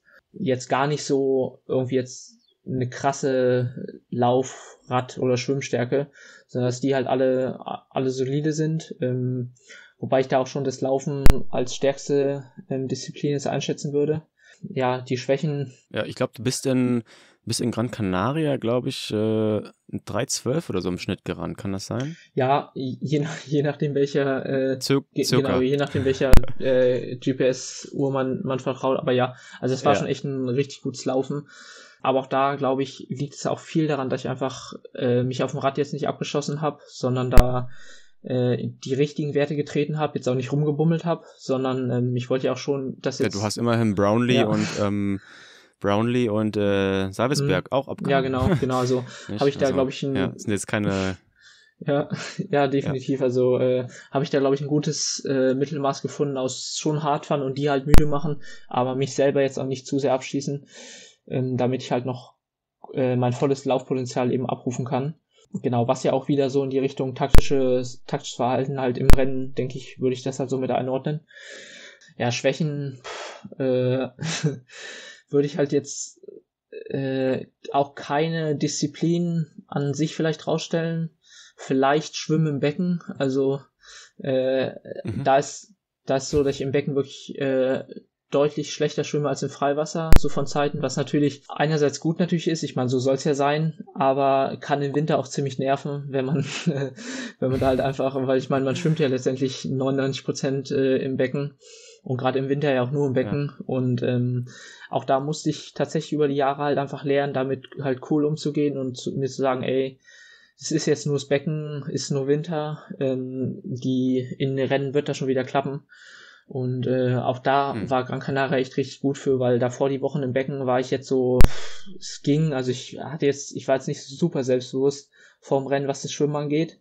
Ähm, aber ja, im Rennen war dann mhm. das Schwimmen halt echt super, ähm, dass ich da mit Brownie und Salvesberg eben mitschwimmen konnte, die ja auch in der WTS ganz vorne rauskommen ja, hat mich jetzt einfach nochmal mehr darin bestätigt, mir da jetzt, mich da jetzt nicht verrückt machen zu lassen von irgendwelchen Beckenzeiten. Vielleicht ist meine größte Schwäche so, so Rollwände und sowas. Äh, also, ja. ja gut, wenn es das ist, dann, ja. Also, äh, ja, sollte ich jetzt nicht bei irgendeinem Wettkampf mitmachen, wo man auf einer 25 Meter Bahn schwimmt. Dann, dann, dann wäre natürlich Buschhütten noch wirklich nochmal interessant. Mhm. Nicht? Äh, das wäre dann, das ist ja dann noch offen mhm, sozusagen. Ja, ja. Ja, und dann vielleicht auch so, ja, ich weiß, also das Mentale, wie gesagt, hatten wir ja schon ein bisschen drüber gesprochen. Du hast ja dann auch gesagt, 2020, vielleicht kannst du das ja uns auch nochmal so ein bisschen einordnen, war dein Entwicklungsjahr, mhm. wo vielleicht auch manche, ja, weiß ich nicht, einfach erstmal die Motivation noch länger gesucht haben oder eben auch ein bisschen äh, ich sag's mal, durchgedreht sind im Sinne von, dann wurde hier eine 5 Kilometer Zeit gejagt und da noch irgendwas Verrücktes gemacht oder so. Aber ich glaube, du hast da einfach relativ konstant weiter trainiert, kann das sein? Mhm, ja, also so auf Bestzeitenjagd bin ich gar nicht gegangen. Ähm, da, das hat mich auch wirklich überhaupt nicht motiviert. Also ich bin jetzt auch jetzt nicht so der Typ, dass ich jetzt sage, okay, ich habe richtig Bock auf einen Fünfer mal den rauszuhauen weil ich mir auch da dann wieder denke, mhm. okay, ähm, hilft mir halt gar nichts, wenn ich jetzt eine gute Fünferzeit stehen habe auf der Bahn, wenn ich dann im Wettkampf nicht abrufen kann. Also äh, bin ich jetzt bin ich jetzt nicht so der Bestzeitenjäger ähm, und ja. genau habe da tatsächlich sehr konstant durchtrainiert. Ähm, habe eine so äh, besondere Einheit mal gemacht, halt, dass ich von Darmstadt nach Wolfsburg gefahren bin mit dem Rad. Also Darmstadt, da wohne ich jetzt her und Wolfsburg, da komme ich her ähm, und habe das quasi am Geburtstag meiner Mutter gemacht und sie wusste davon nicht, also nur meine okay. Schwester wusste es und dann kam ich halt abends so zur Eisziele an und habe die überrascht. Das war schon echt cool. Das waren halt 400 Kilometer, also schon schon ein Brett. Ähm, aber äh, ja. Macht man mal immer so nebenbei. Ja, aber auch das hat mich okay. jetzt nicht komplett aus dem Leben genommen. Also ich habe halt dann einfach da schon gut geschaut, dass ich jetzt nicht da zu krass drauf gedrückt habe, sondern wirklich ruhig gefahren bin, gut verpflegt und dann muss ich halt ein paar Tage locker machen danach, aber dann ging es auch wieder. Also äh, ja, konnte ich das in, in das relativ konstant eben mit einbauen. Und ähm, ja, da hat mir, glaube ich, auch geholfen, dass ich ähm, Ende 2019, also 2019 habe ich in Wolfsburg noch das Abi gemacht äh, und habe bis dahin halt zu Hause mhm. gewohnt, mhm. ganz normal. Also es war jetzt auch keine Sportschule oder sowas. Ähm, und bin dann Ende 2019 nach Darmstadt gekommen. Das heißt, ich war hier noch relativ neu und so und es war eh noch viel neu. Das heißt, ich hatte eigentlich ähm, generell auch so ein Semester normal an der Uni äh, in Präsenz. Da habe ich auch noch äh, äh, habe ich auch noch halt erstmal noch ganz normal studiert und ähm, dann kam eben Corona, aber trotzdem war es dann halt so, okay, hier alles, alles noch neu, das erste Mal Sommer in Darmstadt und Odenwald und das ist schon echt schon deutlich cooler, als wenn man aus Wolfsburg kommt. Da ist das Radfahren jetzt nicht, ist zwar schön leer und sowas, ähm, aber ist halt äh, ja, vor allem flach, aber das brauche ich hier in Potsdam ja wahrscheinlich nicht erzählen. Ähm, und ja, da ist halt hier mit äh, Odenwald schon nochmal deutlich cooler. Und ähm, ja, als es halt losging im März, wurde das Wetter dann hier gut. Man muss ja sagen, in der Zeit war das Wetter auch echt ziemlich, äh, ziemlich gut für März, April, Mai und so. Ja, dann mhm. kam halt auch einfach dadurch so die Motivation, hier einfach die Gegend zu erkunden. Generell kann ich mich halt echt gut über sowas motivieren, über ähm, so neue Strecken erkunden, ähm, coole Strecken fahren. Ja, hatte da von, da von daher jetzt nie groß, groß Motivationsprobleme und habe da ehrlich gesagt auch gar nicht groß ähm, an Wettkämpfe oder sowas gedacht oder ähm, wie gesagt jetzt an irgendwelche Bestzeiten. So habe mich halt davon frei gemacht und gesagt, äh, ich trainiere jetzt einfach äh, viel und konstant. Irgendwas, für irgendwas wird sich schon halt auszahlen. Hab das halt mit äh, dem Erkunden halt von hier äh, so verbunden und ich glaube, es war im mhm. Nachhinein echt, äh, echt gut. Und äh, ja, von daher habe ich die Zeit, ja, Zeit äh, so gut es halt dann ging, äh, überbrückt. Ja, total. Also um da einmal kurz einzuhaken, also ich habe das in ähnlicher Form gemacht. Äh, ich bin, äh, kannst du aus einer 4 eine 3 machen. Äh, ich bin nämlich auch, ich wohne jetzt hier in Potsdam, aber ich komme gebürt, also nee, ich komme gebürtig auf Potsdam, aber habe in Spremberg gewohnt ganz lange. Das ist so 150 Kilometer roundabout und bin dann auch früh da los und dann äh, mittags zu den Großeltern da auch ein bisschen was gegessen und dann wieder zurück und war dann auch abends erst wieder ganz, ganz spät abends zurück, weil ich relativ lang gebummelt habe auf der Rückstrecke und dann irgendwie doch zweimal mehr die Tanke mitgenommen habe. Aber das hat man halt im Kopf, das war eine, das war eine geile Aktion irgendwie so für, für den Kopf irgendwie voll, einfach. Nicht, weil voll. Also, viel Sinn macht das nicht, aber ja, aber ich glaube, das ist richtig das geil, halt einfach da neue Strecken zu erkunden. Voll und ich glaube, das ist aber auch nicht zu unterschätzen, halt, was du meinst so für den Kopf. Ähm, also da denke ich jetzt auch wirklich jedes Mal, wenn ich äh, nach Wolfsburg fahre, denke ich halt so dran, okay, die Strecke bist du auch schon mal mit dem Auto gefahren und viel, ein Großteil der Strecke verlief auch wirklich parallel zur Autobahn. Das heißt, wenn ich da dann die Schilder sehe, hab, verbinde ich halt damit dann irgendwas. Ähm, und ja, also ja. Äh, das ist auch bis heute eigentlich noch so der die Fahrt, an die ich mich am, äh, die halt so die coolste eigentlich war bisher. Allein diese Morgenstimmung, ja, Stimmung. Ich bin hier um 20 vor 5 losgefahren ähm, ja, einfach ja, saukoole, äh, coole Stimmung so und wann halt, wenn ich da. Also ich glaube, äh, ich hätte es ja. jetzt im Nachhinein bereut, wenn ich da dann sowas halt mal nicht gemacht hätte. Jetzt würde, habe ich natürlich auch schon mit dem Gedanken gespielt, jetzt könnte ich ja sowas auch machen, jetzt sind ja keine Rennen. Aber ich glaube, das wäre einmal fürs Becken nicht so gut. Ähm, und natürlich ja. auch äh, kommen ja bald dann, hoffentlich bald dann ja auch wieder Rennen. Also ja, muss ich damit, äh, muss ich mich damit leider noch ein bisschen gedulden, äh, wenn sowas dann mal wieder passt. Mhm. Oder einen Trainer wechseln. So immer 13 Stunden anhalten. Aber um, äh, was ich nochmal interessant finde, also du hast ja gesagt, du warst jetzt nicht auf Bestzeitenjagd. Jetzt hat man ja, wie gesagt, viele Athleten, Athletinnen gesehen, die dann doch 5 Kilometer, 10 Kilometer etc. oder auch, ähm, weiß ich nicht, FTP-Test etc. gemacht haben. War das dann auch so jetzt so eine Vorgabe explizit vom Trainer, dass die jetzt gesagt haben, nee, das ist jetzt zu labormäßig? Weil ich jetzt so als Laie, sage ich mal, man beschäftigt sich zwar schon mit der einen oder anderen Trainingswissenschaft, aber ich würde jetzt denken, okay, man sagt ja immer so auf den Unterdistanzen einen Speed entwickeln und dann kann man das irgendwie adaptieren, aber ihr seid da anders rangegangen, nicht, dass man das vielleicht unter Umständen dann nicht so adaptieren kann, wie man es vielleicht denkt. Ähm, ja, beziehungsweise man muss auch sagen, da ähm, haben wir es auch einfach sehr individuell gemacht. Also ist jetzt nicht so, dass äh, wenn jetzt grundsätzlich gesagt hat, ihr müsst es jetzt alle so machen oder ihr müsst es jetzt alle so machen, sondern äh, da hat okay. Benny eigentlich echt uns viele Freiräume halt gegeben. Ja. Weil auch da ist es ja auch wieder, glaube ich, typabhängig. Also die einen brauchen das, die brauchen diese Bestzeitenjagd und sowas. Und ich glaube, da macht es keinen Sinn, denen zu sagen, ey, du darfst jetzt ähm, ja letztendlich dann ja ein Jahr lang, weil die nächsten wirklichen Rennen kommen, kommen dann erst wieder im Sommer 21. Du darfst jetzt bis dahin äh, nie mal ans Limit gehen oder sowas äh, oder einen Test machen. Mhm. Ähm, ich glaube, äh, ja, da hätten die halt wirklich die Motivation verloren, aber es hätte auch genauso wenig gebracht, halt bei mir, mir das eben so aufzuzwingen. Also ähm, war ja. da tatsächlich ehrlich gesagt wenig jetzt ein wissenschaftlicher Gedanke erstmal dahinter, als primär eben so das Mentale, ähm, dass halt jeder einfach mit der, mit der Situation richtig umgeht. Ja, das ist wichtig. Ähm, ich hatte auch gelesen, also ein bisschen, um darauf vielleicht mal zu kommen, wir haben ja jetzt schon Benny hier genannt, den Trainer Benjamin äh, Knobloch. Und ähm, was, was auch immer so zum Beispiel jetzt auf Instagram so nicht. Man sieht dann so den Erfolg von den Athletinnen, ähm, aber oftmals ist so ja so die Blackbox so, was passiert eigentlich dahinter, so was ist behind the scenes, weil da ist ja auch ganz viel der Erfolg, der einfach auch dahinter stattfindet oder der da gemacht wird, vorbereitet wird und vielleicht magst du uns so ein bisschen so einen Einblick geben, was so das Team Not so sozusagen dahinter steckt, äh, also jetzt zum Beispiel der dein Trainer, ähm, wie, wie trainierst du denn so? Also hast du eine Gruppe oder ist er jetzt primär erstmal auf dich alleine so ähm, fixiert? Äh, wie, wie, wie ist so dein Daily hm. Trainingsalltag sozusagen? Ja, ja. Ähm, also das hat sich halt äh, ziemlich krass geändert, seitdem ich jetzt hier in Darmstadt bin. Ähm, in Wolfsburg war wirklich viel mhm. alleine noch. Ähm, und äh, ja, seitdem ich in Darmstadt bin, haben wir jetzt, äh, habe ich jetzt hier eine Gruppe. Das heißt, schwimmen tue ich äh, nie mehr alleine, äh, was wo es mir beim Schwimmen äh, hilft mir das am meisten. Also wenn ich jetzt mal wieder in Wolfsburg bin und komplett alleine schwimmen, dann merke ich einfach erstmal wieder, was das hier für ein Luxus ist.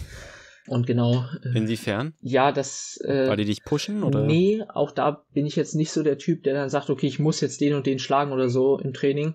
Das ist mir eigentlich ziemlich mhm. egal, sondern halt eher so äh, motivational, dass man einfach vorm Training mit denen quatschen kann, nach dem Training mit denen quatschen kann. Ich meine, im Schwimmen kann man sich ja jetzt nicht währenddessen unterhalten, aber da hilft es mir trotzdem am meisten, da eine Gruppe zu haben. Ähm, und wie gesagt, jetzt weniger um dieses sich gegenseitig pushen, ähm, zumindest für mich persönlich. Ähm, und ja. genau, ähm, fürs Radfahren und Laufen, ähm, also Laufen haben wir zweimal in der Woche so halt offizielles Training zusammen, ähm, wo da halt auch eine Gruppe ist. Ähm, da ist natürlich jetzt so gerade, dass jetzt gerade, wenn die Wettkämpfe näher kommen, dann da schon ähm, jeder halt eher mal so sein individuelles Programm laufen äh, läuft halt. Ähm, und auf dem Rad gibt es mhm. keinen oder meistens keinen Gruppentraining, sondern halt, dass man sich da ja halt so privat einfach verabredet und ähm, ja, da, da äh, schreiben wir dann meistens kurzfristig. Ähm, und ja, meistens mache ich hier mit dem Henry Graf zusammen. Der wohnt jetzt auch seit ich glaube, zwei Jahren jetzt hier oder zweieinhalb Jahren. Und äh, ja, das ist halt echt, echt richtig cool. Äh, mit dem schwimme ich eigentlich immer zusammen. Das kann im Winter auch manchmal frustrierend sein. Also der ist, ich wollte gerade sagen, der ja, ist auf jeden Fall gut. Der schwimmt auch im Fre Freiwasser sehr gut, aber im Becken halt auch richtig gut. Der kommt halt vom Schwimmen. Und ähm, ja, aber wie gesagt, da äh, darf man sich einfach dann nicht, nicht zu verrückt äh, von machen, von machen lassen. ähm, ja, aber sonst äh, machen wir dann relativ viel zusammen, was ja was auf jeden Fall richtig cool ist, wo es aber halt auch vor allem persönlich persönlich halt gut passt. Und ich denke, das ist halt mindestens ja. genau oder ist auf jeden Fall deutlich wichtiger, als jetzt den perfekten Trainingspartner rein physiologisch oder so zu haben, ähm, dass man sich da einfach gut versteht. Hm. Und ja, aber klar, auch da, wenn die Wettkämpfe nä näher rücken, er macht jetzt ja Kurzdistanz. Das heißt, und ich, äh, wenn ich jetzt halt mich auf eine Mitteldistanz vorbereite, muss ich dann natürlich auch mehr Zeit Fahrrad fahren. Da geht's halt nicht immer, aber äh, ja, auch da habe ich, hab ich jetzt kein großes Problem mit, einfach mal allein zu fahren. Und finde das manchmal sogar eigentlich auch, auch, auch gar nicht schlecht, äh, um abzuschalten und sowas. Hm. Ja. Sind das dann auch die Leute, mit denen du dann auch raced? Also jetzt das Bundesliga-Team, mhm. erste, zweite, das sind dann auch die Leute, nicht mit denen du auch trainierst sozusagen. Genau. Oder kommen dann auch externe es dazu? Kommen, ähm, also in der zweiten Liga sind alle hier in Darmstadt, ähm, aber in der zweiten mhm. Liga bin ich jetzt oder äh, starte start ich nicht so halt, wenn dann ähm, in der ersten Liga. Und da ist es so, dass ähm, noch externe dazukommen, aber auch nur Deutsche eigentlich. Also ähm, auch da ist echt ganz cool, dass wir da uns gegenseitig kennen und ähm, dass da einfach auch richtig coole Jungs sind. Also wenn die dann, wenn die dann hierher kommen, pennen die nicht irgendwie im Hotel oder so am Rennen, sondern kommen eigentlich häufig noch über Darmstadt und fahren dann mit uns dahin. Ähm, und ja, so hat man auf jeden Fall in unserem Team echt eine coole, coole, coole Teambindung. Und es ist auch so die Philosophie eigentlich von, von Darmstadt, dass man jetzt nicht gerade gerade langfristig, weil wir jetzt eben hier so eine gute Gruppe haben, dass eben das Ziel ist, die Leute über die zweite Liga für die erste Liga vorzubereiten und jetzt nicht ähm, einfach externe, externe Leute holt. Wir haben jetzt einen guten Stamm ähm, von, von Athleten Und dann dürfen halt immer mal wieder gerade jüngere Leute, die sich eben hier in Darmstadt hochgearbeitet haben, ähm, da mal mitstarten. Was, was man auf jeden Fall da an den Wochenenden merkt, jetzt so für den Team Spirit, was auf jeden Fall gut ist. Ähm, also, ja, es macht schon, macht schon richtig Bock und ist schon, ist schon auch echt, echt bitter, dass ich das jetzt halt so verpasse, äh, weil das sind halt so die Wochenenden, auf die man oder auf die ich mich so persönlich am meisten freue. Klar ist cool oder so der sportliche Teil von mir freut sich natürlich jetzt eher auf irgendein Rennen, wo ich weiß, okay, da geht's jetzt wirklich um was und äh, das ist jetzt richtig wichtig und so, da habe ich natürlich auch Bock drauf, aber mhm. ja, äh, das ist eigentlich immer wie so, wie so Urlaub, so ein Wochenende, äh, ein Bundesliga-Wochenende, weil es einfach total entspannt ist. Ähm, ja. Und ja, die, äh, wir uns einfach richtig gut verstehen. Wir haben ja auch ein, äh, eine Frauenmannschaft noch, das heißt, wir sind immer ein großes Team mit Betreuern, äh, jeder mhm. kennt sich und ja, es ist, ist schon immer richtig cool. Also, genau, dann ist es vielleicht auch so ein bisschen dann interessant für dich auch vielleicht zu sehen persönlich, wie der, wenn du jetzt sagst, also du wirst ja auch sicherlich noch Bundesliga-Rennen machen, aber dann eben vielleicht auch viele Mitteldistanz-Sachen, wo man ja doch vielleicht dann das eine oder andere Mal mehr auf sich allein gestellt ist und dann vielleicht so diese geilen Fun-Sachen dann hier und da doch mal nicht mehr mitnehmen kann, nicht? Also wird vielleicht auch interessant zu sehen sein, nicht? dass äh, man vielleicht doch dann auf der Mitteldistanz eher ja doch wahrscheinlich mehr alleine trainiert oder ja auf sich gestellt ja. ist. Ja, stimmt, stimmt schon, ähm, stimmt schon. Aber ähm, ich denke, das, das ist gut, dass ich eben hier in der Gruppe eben bin. Das heißt, äh, abgesehen von den Rennwochenende, Renn, Rennwochenenden bin ich ja immer noch unter denen ähm, und im Training ist, ist die Stimmung okay. ja halt auch gut so.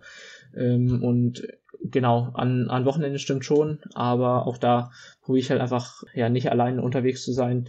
Und äh, ja, gibt ja auch auf der Mitteldistanzbereich coole Jungs, ähm, mit denen man, oder auch Mädels, zum Beispiel in St. George war ich mit der Anne Reichmann zusammen äh, in einem Airbnb, was auch richtig cool war. Ähm, mhm. Und ich denke halt auch da, also je länger ich dann da jetzt dabei sein werde, desto mehr Leute werde ich kennenlernen und dann ähm, ja, wird, äh, kommen da hoffentlich auch noch ein paar äh, richtig coole, coole äh, Trips auf mich zu. Ja, ich denke auch, ja.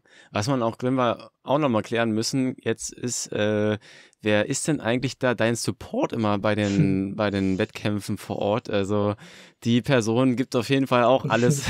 ja. Und da sind wir auch mal sehr äh, amüsant, das mit anzusehen. Ja. Äh, darfst du da verraten, wer Klar, das ist? Ähm, ist auch einer aus Darmstadt, äh, Uwe Drescher heißt ja. der. Ähm, der äh, ja ist, ist bei Rennen äh, hat den Puls mindestens so wie ich auf jeden Fall ähm, und mindestens, ja. emotional voll dabei. Ähm, ja, das war, es hat sich eigentlich relativ zufällig ergeben. Also äh, wir trainieren hier auch relativ viel zusammen. Also er wohnt auch in Darmstadt. Er ist eben letzt, letztes Jahr mit mir nach Lisable gefahren, wo ja, wo wir das eigentlich vorher wirklich beide überhaupt nicht wussten, was es jetzt, was es jetzt wird. Ähm, und ja, dann, dann war er halt da dabei ähm, und ja, hat das, hat das als Supporter einfach echt, echt richtig gut gemacht, muss ich auch sagen. So im Rennen äh, ja. hat er mir halt genau die richtigen Infos gegeben und anscheinend auch für die Leute draußen, also äh, mit dem äh, mit, mit der, mit der Insta-Story ja. kam da auch auf jeden Fall richtig äh, positives Feedback und ihm selber macht's auch Bock, also ähm, ja, ist, ist er da, ist er da meistens am Start. Ja, sehr geil, ja. Und so, ähm, ja, einfach so, sonst so Family-mäßig, die sind auch alle voll hinter dir. Ähm, kann man jetzt eigentlich sagen, dass du dann jetzt Vollzeit-Triathlon-Profi bist? Mittlerweile würde ich sagen, ja, ja. Ähm, also ich bin noch, äh, mhm. ich bin noch in der Uni halt eingeschrieben, hier in Darmstadt an der TU ähm, für Informationssystemtechnik.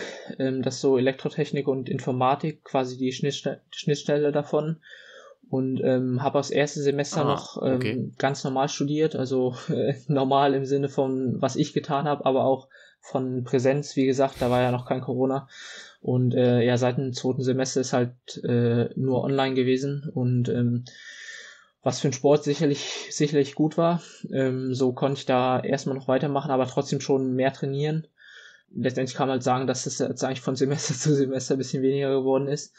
Das, dieses Semester bin ich jetzt noch bei einem, also so ja, dann, ne? bin ich jetzt noch äh, für so ein äh, Online-Modul, was noch tatsächlich jetzt noch online stattfindet, eingeschrieben oder nehmen da noch halt dran teil. Ähm, aber ja, da äh, muss ich halt einfach mal schauen, wie es dann, wie das dann weitergeht ab, äh, ab Herbst ob es weiter in Präsenz bleibt oder halt nicht und dann, dann entscheiden, ähm, genau. Aber wie gesagt, also, äh, wie du schon richtig sagst, so die Family steht da voll hinter. Ja, bin ich, bin ich Geil. super dankbar und ähm, hab da, wie gesagt, so bis 2019 ja noch gewohnt ähm, und meine Eltern kommen jetzt äh, nicht aus dem aus dem Profisport oder so, ähm, sondern machen machen auch viel Sport, äh, aber halt jetzt eher so hobbymäßig. Ähm, und da war es jetzt auch für sie, glaube ich, so ein bisschen so ein Learning, ähm, halt die Schritte jetzt so mitzuverfolgen. Die haben jetzt halt auch so nach und nach dann verstanden, halt, dass jetzt halt immer ernster wird und so, aber da hatte ich immer die volle Unterstützung. Ähm, und ja, die, die fiebern auf jeden Fall halt auch immer mit. Ähm, und haben mir halt auch früh signalisiert, so, ey, wenn du, wenn du das halt willst, dann, äh, und du halt da selber nicht glaubst, ähm, dann mach's. Und haben mir da jetzt irgendwie nicht, nicht noch zusätzlichen, zusätzlichen Druck in, in irgendeiner Situation gemacht. Genau, und so, ich glaube, nur so kann sich sowas auch entwickeln. Also zumindest für mich persönlich. Also ich könnte da jetzt, wenn ich noch von familiärer Seite irgendwie noch Stress, Stress bekommen würde oder Druck mhm. oder in irgendeine Richtung mich gedrängt fühlen würde, ähm, auch schon, glaube ich, vor allem in der Jugend. Also, dass ich da eben äh, viele äh, jetzt nie gesagt wurde, ey, du musst jetzt zum Triathlon gehen oder so, sondern dass sich das halt auch komplett normal mhm. entwickelt hat ähm, und ich da ja halt die Motivation eigentlich immer von mir selber ausging. Es eher so ist es dann, dass dann äh, also äh, ja halt mal so ein Spruch kommt so, ja, willst du jetzt wirklich noch rausgehen, es regnet doch oder so. Und äh, ja. dass ich dann sagen, ja, ja, will ich, will ich. Ähm, und ja, also wurde ich, wurde ich jetzt, ich, wurde ich jetzt halt nie getrieben. Ähm, und äh, ja, also nee, ist da, ist das, passt auch das ähm, einfach, einfach richtig gut, ähm, was, was sich auch dann sicherlich positiv halt auf die, auf die Leistung auswirkt. Ich weiß nicht, ob das jetzt irgendjemand interessiert, aber du hast gerade gesagt, Informationssystemtechnik hm. studierst du. Im ersten Moment denke ich mir, oh Gott, was ist das denn? Aber das ist ja dann eigentlich so, also, weil ich habe da so ein bisschen auch beruflich mal hier und damit zu tun gehabt, ähm, der, der Agenturmäßig, das ist ja dann eigentlich so die Schnittstelle zwischen Software und Hardware sozusagen, dass das genau, ineinander genau, einwirkt und das ist ja eigentlich, also das ist ja so die Zukunft so nicht? Mehr, wenn man so mit IoT, Big Data und wie es auch immer alles heißt, äh, also da hast du ja auf jeden Fall auch eine gute, äh, ja, wie soll man sagte, zweites Standbein dann später, wie auch immer, dann äh, da im Hinterkopf, ja, sehr geil. Ja, voll. Also so Hardware und Software, die Schnittstelle äh, trifft genau. Ähm, ist halt leider, leider nicht so, dass man es einfach mal so nebenher studieren kann. Also ist halt schon ziemlich anspruchsvoll. Oh, ja. ähm, aber ja, auf jeden Fall super interessant. Ähm, auch da will ich mich jetzt noch nicht halt festlegen, wie es denn da mhm. äh, genau weitergeht, aber ähm, nee, ist auf jeden Fall äh, auf jeden Fall schon ein ganz mhm. cooles Thema. Ja, vielleicht auch sogar im Triathlon, nicht? Also da sieht man jetzt auch immer mehr mhm. Sachen, die da kommen. Ich habe vor kurzem hier gehört, äh, geht es ja jetzt auch schon so mit diesen Windschatten, äh, gibt es ja Sensoren, dann kann man ja auch Hardware, Software verbinden schon, auch sehr spannende Projekte da. Also ja, ja wer weiß, was da noch kommt, so nicht. Mhm. kann man ja. sich äh, überraschen lassen. Und äh, ja, was natürlich auch so ein bisschen zum Triathlon-Profi-Dasein oder Business gehört, ist ja auch dann, dass man auch ein bisschen gucken muss, wo man bleibt, in Anführungszeichen, Sponsoren, Partnerschaften. Äh, also erstmal herzlichen Glückwunsch noch zu der äh, neueren, äh, neuesten jetzt Kooperation. Wie spricht man die aus? Head, Head? Head Cycling? Head.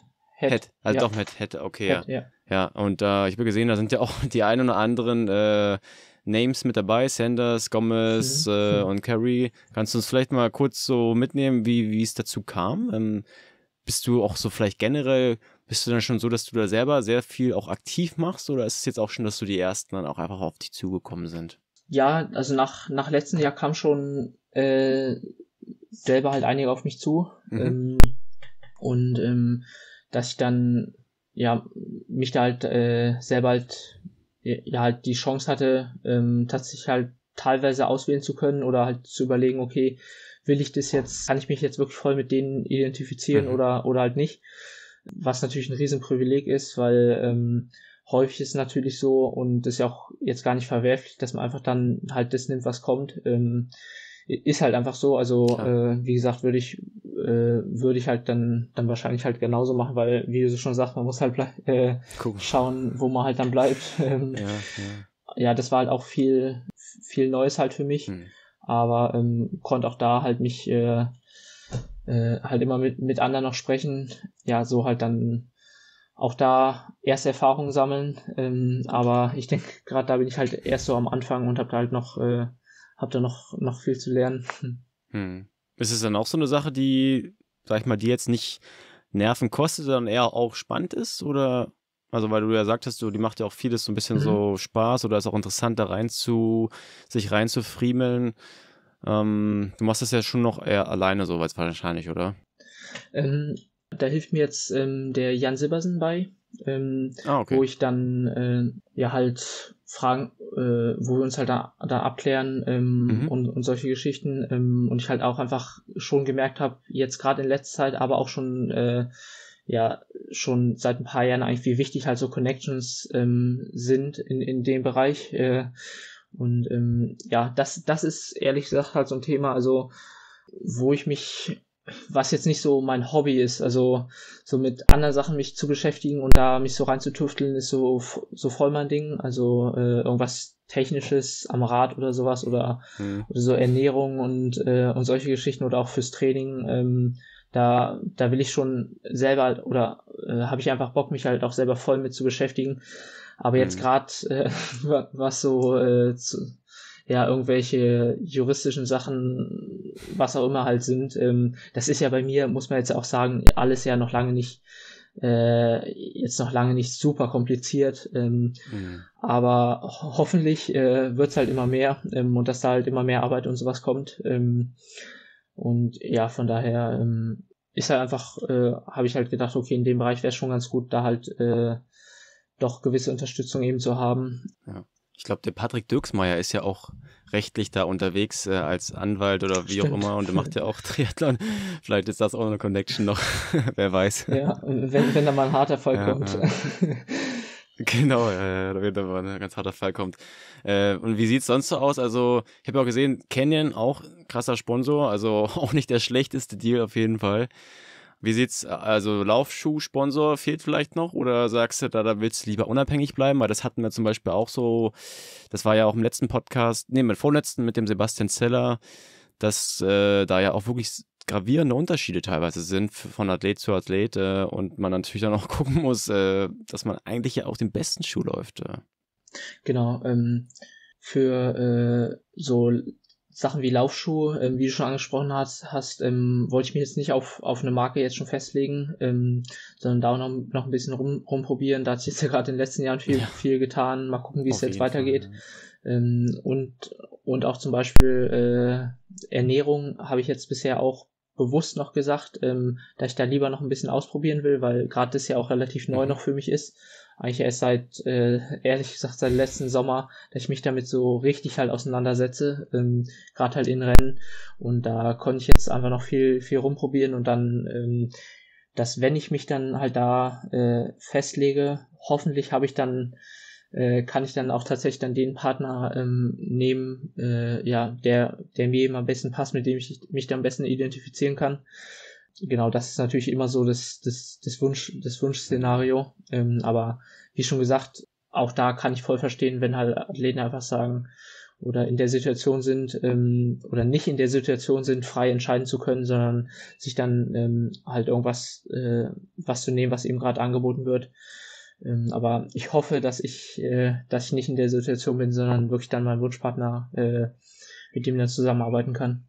Ja, das äh ja, das wird wahrscheinlich auch so oder so kommen. Also, das wird die Zeit zeigen, wie man immer so schön sagt. Aber was, äh, das ist quasi Spekulation, aber was mich nochmal interessieren würde, du hattest äh, Anfang Mai auch nochmal in einem Post gesagt, dass du zum ersten Mal seit Winter irgendwie die Carbon-Slippers äh, wieder anhattest, wenn, wenn das richtig ist. Ist es dann auch so, dass du eher so im Alltag da weniger drauf zugreifst und dann nur so Richtung Wettkampf oder nutzt du die auch schon regelmäßig? Ähm, nee, tatsächlich nicht. Ähm, also tatsächlich wirklich nur äh, Richtung mhm. Wettkampf. Interessant, ja. Ähm, ähm, ich habe da einfach einfach äh, das Gefühl, wenn ich die halt wirklich nur sehr dosiert einsetze, dass ich dann da noch mehr noch mehr rausholen kann und ähm, dass ich wirklich so die Grundlage mit normalen Schuhen eben aufbaue und dann äh, auch mental ähm, natürlich dann mir halt diesen Boost dann für den Wettkampf aufhebe, aber ähm, ja auch zumindest hatte ich bisher das, das Gefühl, ähm, dass mir das auch ähm, physiologisch oder von der Technik her einfach, einfach besser tut, wenn ich möglichst äh, normal oder natürlich eben im Training unterwegs bin und dann ähm, ja mit den mit den Carbon-Schuhen mir die halt wirklich dann für die spezifischen Einheiten kurz vor dem Rennen aufheb und natürlich im Rennen. Hm. Ja, ja, ja. Also du hast schon, also hast du dann auch schon so die ein oder anderen Schuhe von den verschiedenen Marken für dich auch der einfach dann getestet sozusagen? Äh, ja. Dass du da einfach dann auch genau weißt, ja, okay, die sind es jetzt so, nicht? Auf jeden Fall. Ähm, und auch da habe ich mich aber auch zum Beispiel noch nicht festgelegt. Also da will ich es oder kann, kann ich es auch auf jeden Fall jetzt kursabhängig machen, dass ich jetzt auf Gran Canaria mhm. zum Beispiel war der Kurs sehr verwinkelt, ähm, mit vielen teilweise ziemlich schmalen Kurven und auch so Gravel-Passagen, ähm, wo ziemlich ziemlich grobe Steine lagen und dann da halt auch noch Kurven waren. Und dann wollte ich halt lieber einen Schuh, der eher direkt ist und nicht so schwammig. Ähm, mhm. Wenn es hingegen jetzt äh, ein Rennen ist wie zum Beispiel in Les Sables letztes Jahr, wo man einfach nur an der Promenade langläuft und dann einen Wendepunkt hat und wieder zurück, also komplett flach Asphalt ähm, und halt nur ein paar Wendepunkte, Wendepunkte hat, da äh, würde ich dann wahrscheinlich jetzt einen anderen Schuh laufen, und ja, das ist natürlich jetzt auch äh, der Vorteil, da jetzt nicht an irgendwas gebunden zu sein, ähm, weil ja letztendlich halt bei allen Sachen, die eben sich direkt auf die Leistung auswirken, ja, will ich das eigentlich halt vermeiden, mich da, äh, mich da an irgendwen zu binden. Es sei denn, ich bin mir sicher, wie zum Beispiel am Rad, dass halt das schnellste ist. Ja, ja. Ja, sehr spannend.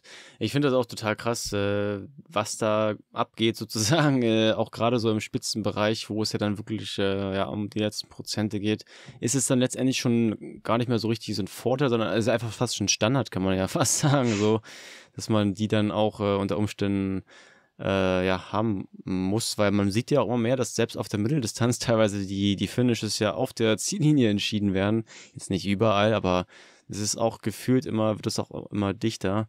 Mhm. Ähm, ja, wenn wir einfach noch so ein bisschen so, ich habe noch zwei, drei Fragen, Mika, so ein bisschen ausblickmäßig. Äh, du ähm, hast ja auch schon so ein bisschen andeutet, so dass du auch einfach Bundesliga auch richtig, richtig Bock macht, einfach. Ähm, also das wird auch weiterhin erstmal so, ja, nebenbei sozusagen. Also, was heißt nebenbei? Ist es so, dass du sagst, das machst du halt, wenn es passt, oder würdest du auch sagen, das, das würde ich jetzt auch, sag ich mal, als Mitteldistanzrennen dann vorziehen. Ähm, weder noch, würde ich sagen. Also es ist nicht so, dass ich es nur nebenbei mache und jetzt sage, okay, es ist wirklich nur zum Training oder so. Also zum Beispiel diese Saison waren jetzt die Finals in Berlin geplant, ähm, was ja auch ein Bundesliga-Rennen ist. Und mhm. da war jetzt tatsächlich mein Plan eben Gran Canaria, ähm, dann äh, als nächstes wirklich wichtiges Rennen halt Kraichgau und zwischen Kraichgau und Berlin sind vier Wochen und da hätte ich wirklich in den vier Wochen ähm, einen richtigen Kurzdistanzblock gemacht, äh, was ja wie gesagt jetzt auch äh, nicht komplett unterschiedliches Training ist, ähm, aber trotzdem hier und da nochmal ein paar andere Reize, ähm, einfach um wirklich in Berlin dann mhm. schon eine richtig gute Leistung ähm, abzuliefern. Also es ist jetzt nicht so, dass ich da dann nur zum Spaß bin, sondern da will ich auch auf jeden Fall noch mhm. gut performen und glaube aber andersrum ähm, auch, dass sich das jetzt nicht negativ nun ähm, für die spätere Saison wiederum auf der Mitteldistanz auswirkt, mal so einen ähm, äh, kurzdistanzspezifischen Block zu machen, einfach um ein paar andere Reize zu setzen, ähm, mal wieder mehr am Grundspeed zu arbeiten, solche Geschichten, ähm, weil ich glaube auf jeden Fall nicht, dass das jetzt schädlich für die Mitteldistanz oder so ist. Ähm, sondern ähm, ja, dass sich das auf, auf jeden Fall sehr gut, ähm, sehr gut gegenseitig ergänzt.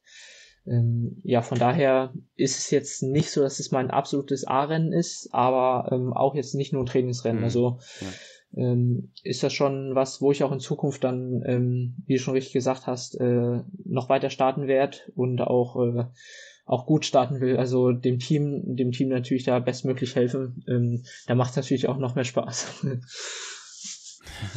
Ja, man sieht ja auch jetzt bei den Norwegern, also ganz so verkehrt ist es ja anscheinend nicht, dass man auch die kürzeren Sachen mitnehmen kann. Äh, natürlich auch immer super individuell, kann man ja nicht pauschal sagen, aber da, ich weiß nicht, du hast ja auch gesagt, du verfolgst da vieles. Äh, verfolgst du auch so ein bisschen die ganze, die Szenerie da um die Norweger, ziehst du dir da die Vlogs und so rein? Ähm, jetzt sind es ja, ja, auch gerade hier, der, der Christian Blumenfeld ist ja hier um die Ecke jetzt die, die Tage mhm. am Lausitzring. Ähm, auch auf jeden Fall ein interessantes Projekt. Äh, also das verfolgst du auch schon so nicht. Äh, allein auch vielleicht aus Fansicht. Ja, ja, wirklich voll. Also auf jeden Fall aus Fansicht. Äh, ist jetzt nicht so, dass ich da jetzt irgendwas probiere zu kopieren oder äh, irgendwelche Leistungen dann als groß Strava irgendwie groß stalke oder sowas. Ähm, das nicht, aber halt einfach so ja. als Fan. Also ähm, letztendlich halt auch da, selbst wenn ich jetzt Triathlon nicht so professionell wäre äh, oder machen würde, ähm, wie ich es ja vor ein paar Jahren noch gemacht habe, ähm, war ich trotzdem genauso Fan und äh, habe mir trotzdem halt gern so Videos reingezogen oder irgendwelche Artikel gelesen. Also das ist ja im Triathlon eh meistens so, dass man jetzt ja nicht startet und sagt, okay, ich will Profi werden, sondern es entwickelt sich dann ja, ähm, ich würde mal sagen, in den aller, allermeisten Fällen halt erst so dahin. Ähm, und ja, sowas bei mir auch. Mhm. Und also die Passion so ist auf jeden Fall immer noch da. Ähm, ja. Also kannst du dich noch an, was ist schon so gerade so ein bisschen mehr oder weniger gesagt, aber Kannst du dich noch an so einen Moment oder an so eine Zeit, äh, einen Raum erinnern, wo du gemerkt hast, so, ja, doch, Profi-Dasein ist auf jeden Fall mehr als realistisch? Ähm, das war tatsächlich, ähm, also wie du schon richtig gesagt hast, es ist kein Zeitpunkt, sondern eher ein Zeitraum. Ja. Ähm, aber ja. da würde ich sagen, so letztes Jahr zwischen, also nach Les Sables, davor auf jeden Fall noch nicht so. Ähm, Mhm. Also auch wenn ich mir schon echt gute Leistung zugetraut habe, ähm, hatte ich ehrlich gesagt einfach gar nicht so den Einblick, was es dann wirklich bedeutet. Ähm, mhm. Und also zwischen Des Sable und eigentlich so St. George, ähm, also zwischen Juli und September so in der Zeit, würde ich sagen, ähm, wo ich dann solche Sachen wie äh, hier mal ein Interview, ähm, dann schreibt mir auf, auf einmal irgendein, irgendein Typ, den ich gar nicht kenne bei Instagram und hat irgendeine Frage oder so, ähm, was er halt, was ich davor halt nicht hatte, aber was ja halt super cool ist. Ähm, und da habe ich halt gemerkt, okay, ähm, in Kombination natürlich, ähm, ich denke, das, das darf man heutzutage äh, nicht vergessen, dass ja immer noch die Rennen so an erster Stelle stehen, äh, so Social Media und so ist ja schön, aber ähm, ja, in der Zeit ja. äh, lief es halt sportlich einfach auch richtig gut, dass ich äh, da einfach super viel Selbstbewusstsein hatte, gefühlt hat, einfach so auf so einer richtigen Welle halt dann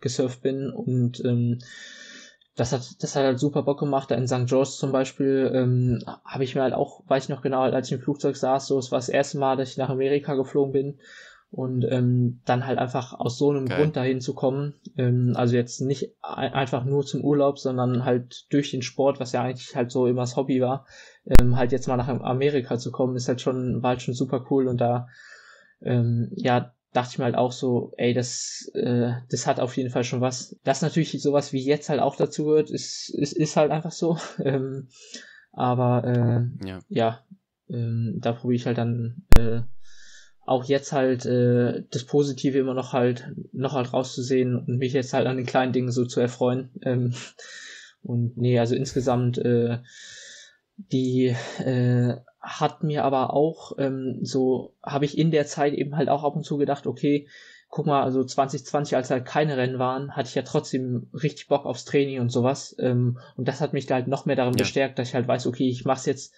ähm, nicht nur wegen den, wegen den Rennen, sondern auch, auch einfach, weil es halt einfach sau cool ist, so äh, draußen Rad zu fahren, äh, zu schwimmen, ähm, zu laufen und sowas. Ähm, und ja, von daher war mir halt äh, dann klar, okay, wahrscheinlich ist es jetzt auch so, dass wenn es mal nicht läuft, dass ich dann trotzdem noch Bock habe. Und jetzt zum Beispiel kann es halt auch nicht abwarten, endlich dann mal aufs Rad zu gehen äh, und dann mal wieder im Odenwald zu fahren oder halt im Freibad zu schwimmen jetzt, wenn die Sonne scheint. Das sind einfach so die Sachen, äh, ich glaube, wenn man halt die nicht hat, dann, dann wird's gerade langfristig halt schwer. Und ja, da äh, war ich mir eigentlich ziemlich sicher, dass das so, dass halt so voll mein Ding ist. Ja, voll. Kann es dann, glaube ich, jeder nachvollziehen, äh, der das hier auch gerade hört. Ich habe auch so eine kleine Nasen-OP jetzt gehabt äh, und davor konnte ich schon ein paar Wochen nicht schwimmen und äh, jetzt muss ich auch noch so ein bisschen die Füße stillhalten und äh, ich merke einfach jeden Tag auch, wie man wieder ins Wasser will.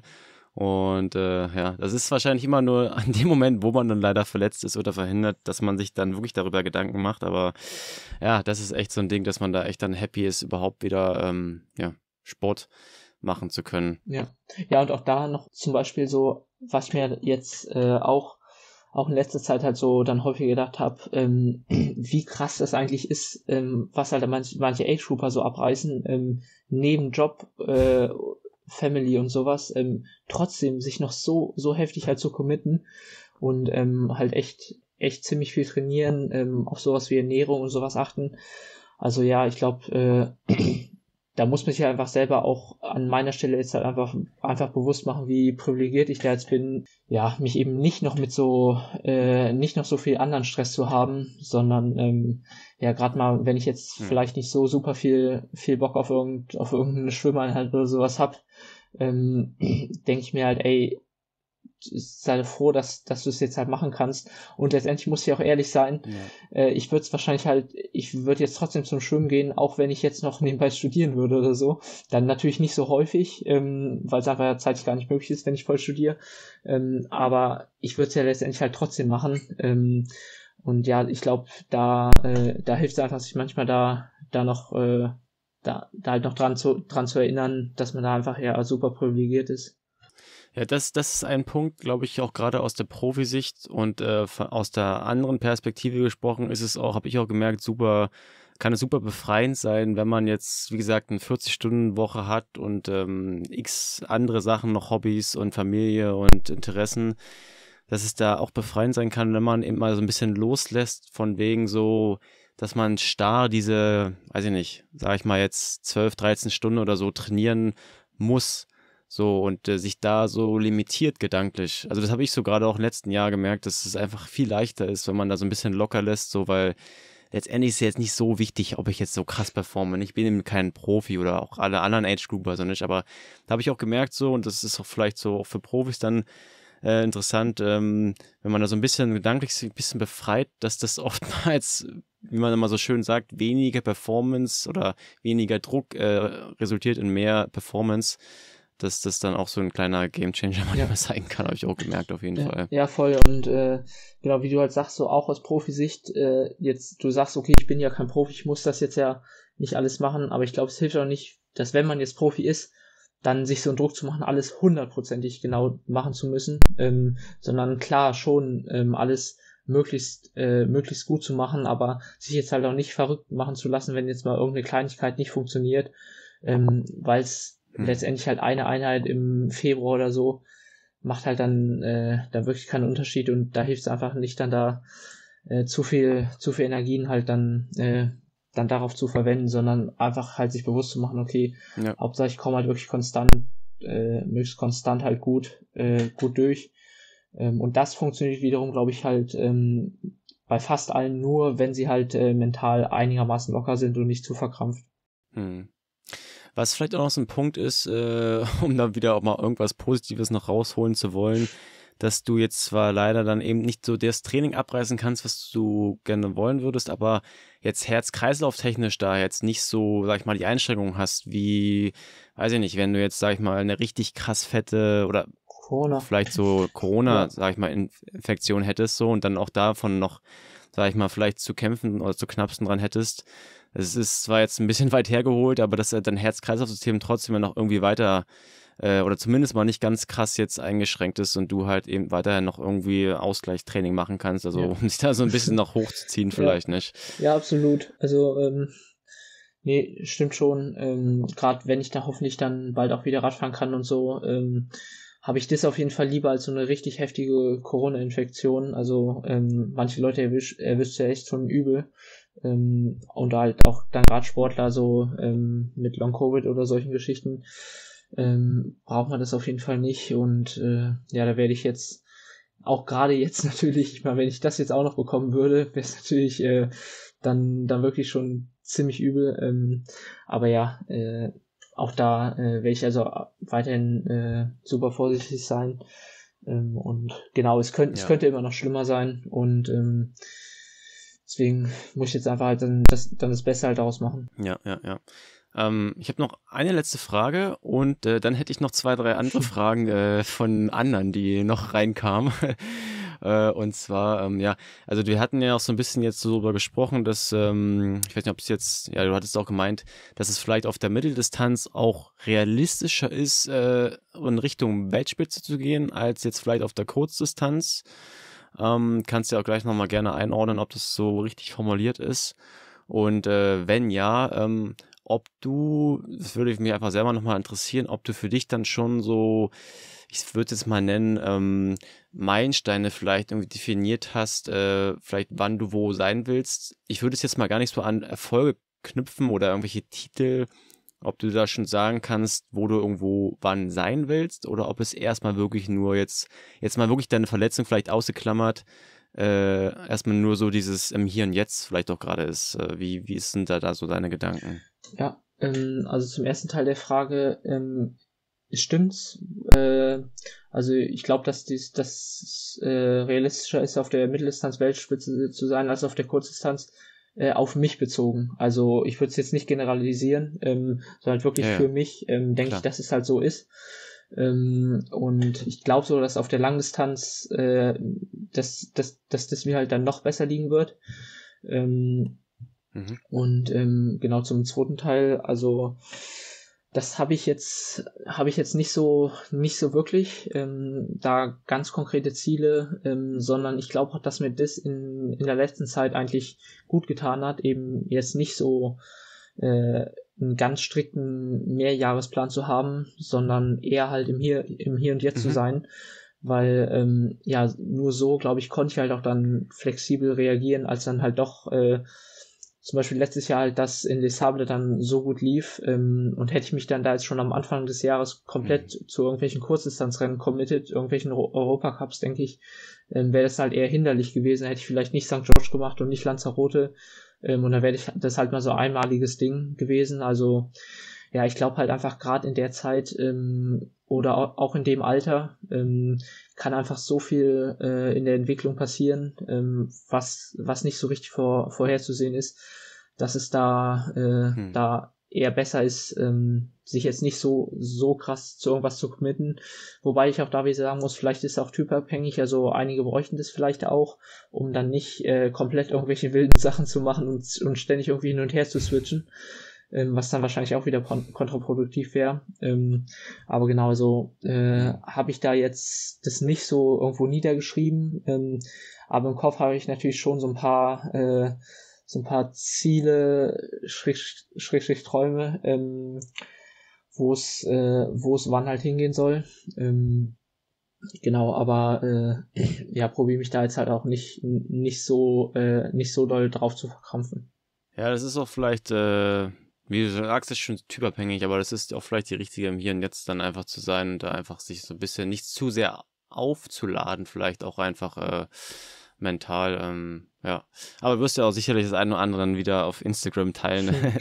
macht dir das eigentlich auch so, ähm, ist es, macht dir das Spaß auch so ein bisschen oder ist es eher so, ja, so ein, muss halt irgendwie noch hinten ran sozusagen. Das gehört halt so dazu. Ähm, nee, es macht mittlerweile macht es mir Spaß. Ähm, also auch das hat sich so ein bisschen mhm. entwickelt, ähm, dass ich äh, vorher einfach mich auch selber nicht so gesehen habe. Da dachte ich, okay, das, interessiert doch eh überhaupt keinen, was, was ich, äh, was ich mache. Ähm, aber jetzt ah. habe ich mir halt auch so gedacht, okay, okay.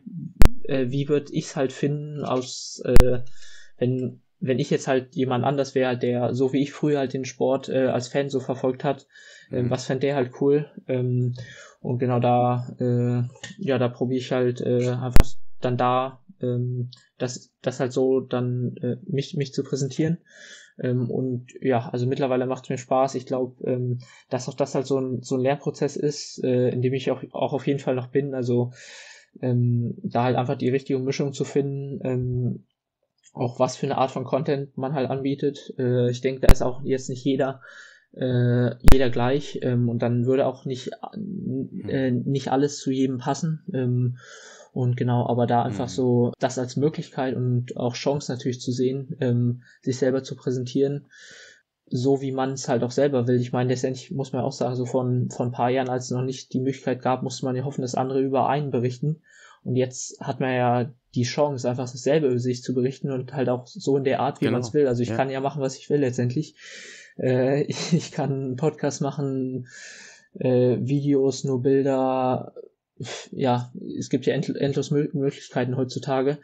Äh, während man früher ja dann hoffen musste, dass der Text, der über einen geschrieben wird, irgendwie jetzt, jetzt nicht komplett in die Hose geht oder total falsch interpretiert wird. Ähm, und das sehe ich halt eher als Chance eigentlich. Ähm, und ah, okay. nee, also äh, macht mir insgesamt Spaß, aber ähm, auch da denke ich, habe ich noch, äh, noch, noch einiges vor mir so. Ja, bin auf jeden Fall nicht, nicht abgeschreckt von. Ja, es ist interessant, auch das so einfach als Chance zu sehen, das stimmt schon. Ja, wie gesagt, ich habe ja auf Instagram gefragt, ob da Leute ein paar Fragen reinhauen wollen und es kam auf jeden Fall auch äh, auch eher so wahrscheinlich eher Insider-Fragen rein und deswegen, ich habe mal hier drei mitgenommen, die ich abschließend noch äh, gerne reinnehmen würde, äh, Mika.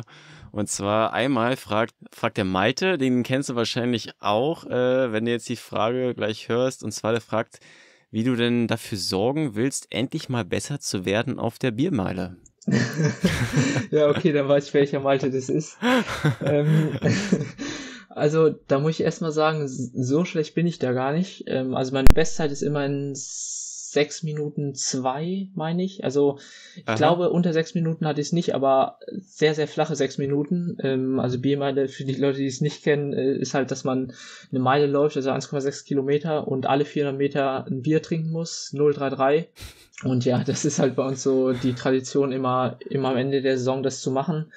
Ähm, okay. Und ja. ja, gegen, gegen Malta habe ich, äh, hatte ich da noch keine Chance. Ähm, also ja, mu muss ich mal schauen, dass ich, dass ich das dieses Jahr vielleicht ans Ende der Saisonpause lege ähm, und nicht direkt ja, an den Anfang, dass ich dann ja, ja. noch ein bisschen davor trainieren kann äh, und mich dann äh, mich dann nicht von ihm noch abstellen lassen muss. ja, dann kannst du ihn mal abziehen dann auf jeden Fall. Ja. ja. Aber das ist da, also Standard, das machen wir auf jeden Fall am Ende der Saison immer in Wolfsburg da sozusagen. Das ist so der. Sowohl der in Wolfsburg als auch in Darmstadt. Also, ah, Darmstadt auch. Ich weiß, okay, ich weiß nicht, ja, ja äh, ich weiß nicht, ob das an mir liegt, dass ich da so einen Einfluss habe. Aber äh, ja, es ist, habe ich auf jeden okay. Fall die richtigen, die richtigen Teams und Jungs mir ausgesucht, dass das da, dass die da auf jeden ja. Fall Bock haben und da äh, alle am Start sind. Ja, geil, ja. Das ist ein, das ist ein Match auf jeden Fall. Ja. Dann fragt äh, der Jan, auch äh, auf jeden Fall eine bekannte Persönlichkeit, Mitteldistanz-Triathlon. Ähm, und zwar der Herr Stratmann fragt, äh, wie du schaffst, so viel zu essen. Also vielleicht mhm. kannst du da kurz ausholen. Gibt es da Stories, gibt es da Insider, dass du da gerne mal mehr zuschlägst sozusagen? Ja, pff, die Story ist wahrscheinlich einfach so jeder, jeder Tag mein Alltag, ähm, dass ich da, äh, ja, dass ich da echt immer ziemlich viel halt esse und ja, letztendlich sagt, sagt ja jeder Triathlet, dass er viel isst, aber Anscheinend ja, ja. ist bei mir noch mal mehr, dass zumindest halt auch andere Triathleten äh, so wahrnehmen. Ähm, und ja, äh, da probiere ich es halt einfach echt, mich, mich nicht zu begrenzen. Ähm, ich habe halt einfach auch so viel Hunger. Ähm, also es ist jetzt nicht so, dass ich irgendwas reinzwingen zwingen muss, sondern äh, ja, äh, ich esse halt einfach gern und ähm, denke mir halt auch, je mehr ich esse, desto mehr Energie äh, nehme ich zu mir und desto mehr Energie habe ich auch fürs Training übrig. Also ja. Äh, ja, und letztendlich Ernährung ist ja auch die vierte Disziplin im äh, auf der Langdistanz. Das heißt, letztendlich bin ich da auch immer am Trainieren noch. Also ja. Mhm. Das ist interessant, äh, weil das hatte zum Beispiel auch der Sebastian Zeller mal kurz ein bisschen angebracht oder vielleicht habe ich auch woanders gesehen gehabt. Da ging es nämlich auch um die Norweger, dass äh, da die ziehen sich halt auch alles rein und gerade wenn die hart trainieren, da wird jetzt nicht geguckt irgendwie, ob das jetzt Low Carb ist oder ob das vielleicht zu viel einkettige äh, Kohlenhydrate sind oder was auch immer, irgendein Franzbrötchen äh, unterwegs bei der Radfahrt, weil es zählt letztendlich irgendwie so die Energie und, jetzt, und sowas halt und äh, dass, dass man sich da vielleicht gar nicht so limitieren muss, weil ja auch oft, ich habe es auch manchmal so ein bisschen gedacht, früher so im Trainingslager, dass dann aber bloß nicht die Cola getrunken werden darf, so nach dem Motto, weißt du, weil dann hm. haut man sich ja schon wieder den ganzen Schrott rein. Nee, also Hauptsache die Energie kommt rein, nicht, dass man, das ist halt ja. auch so ein Punkt einfach, glaube ich. Absolut, absolut. Und zum Beispiel auch so eine Verletzung, die ich jetzt gerade habe, ähm, die kann auch durch, ähm, durch äh, eben eine mangelnde Energiezufuhr ähm, kommen. Ich glaube jetzt hm. nicht, dass das bei mir eine Ursache ist, ähm, aber viele, viele andere haben das. Also es gibt ja auch dieses Red S äh, und ja. ja, also denke ich, dass ich hoffe und glaube aber auch, dass da so ein bisschen auch so ein Umdenken gerade stattfindet, auch dank der Norweger, aber auch dank, dank anderer mhm. Leute, Profis auch, die da ja ähm, auch in so einem Bereich einfach eine Vorbildrolle für andere haben und eben halt auch mal zeigen auf Social Media, weil sie eben die Möglichkeit haben, weil es jetzt sichtbar ist, ähm, dass, dass sie halt jetzt nicht nur immer ähm, irgendwelche Körner picken oder jetzt nur Salat essen, ähm, sondern da wird halt auch dann mal ähm, ja halt das gepostet, was mal ist. Also es ist, ist halt einfach so. Ähm, ja. Trotzdem, äh, ja, probiere ich natürlich auch jetzt äh, mich nur mich nicht nur von sowas zu ernähren. Ähm, aber ja, ich denke, äh, da ist es erstmal wichtig, die, äh, die ganze Energie reinzukriegen und äh, dann natürlich trotzdem möglichst gesund zu essen. Aber ja, es spricht auf jeden Fall nichts, nichts dagegen, ähm, da auch mal auch mal was nicht äh, nicht super gesundes zu essen. Total, ja, äh, ist auf jeden Fall legitim. Äh, und noch eine allerletzte Frage und da zwar die kommt vom Simon und äh, wenn ich jetzt die Frage stelle, dann weißt du auch genau, weil glaube ich wer gemeint ist, wie gut du Minigolf spielst. Oh, oh. Äh, besser als Henry. Auf jeden Fall besser als Henry. Ähm, vielleicht schlechter als Simon, aber ich glaube, das also, ist ein Gerücht. Ähm, ja, ja, ja, also ich glaube, nee, ich habe da auch Stories gesehen gehabt, dass hier irgendwie ja. in, in Fuerte oder wo war das mal auf Mallorca ja. oder so? Habt ihr ja auch gezockt? Fuerte. Ja. Ja, ja also ich würde sagen, ich spiele selber sehr, sehr gut. Ähm, Simon spielt noch einen Tucken besser vielleicht, ähm, aber ja. ist, okay. äh, äh, hat auf jeden Fall Spaß gemacht.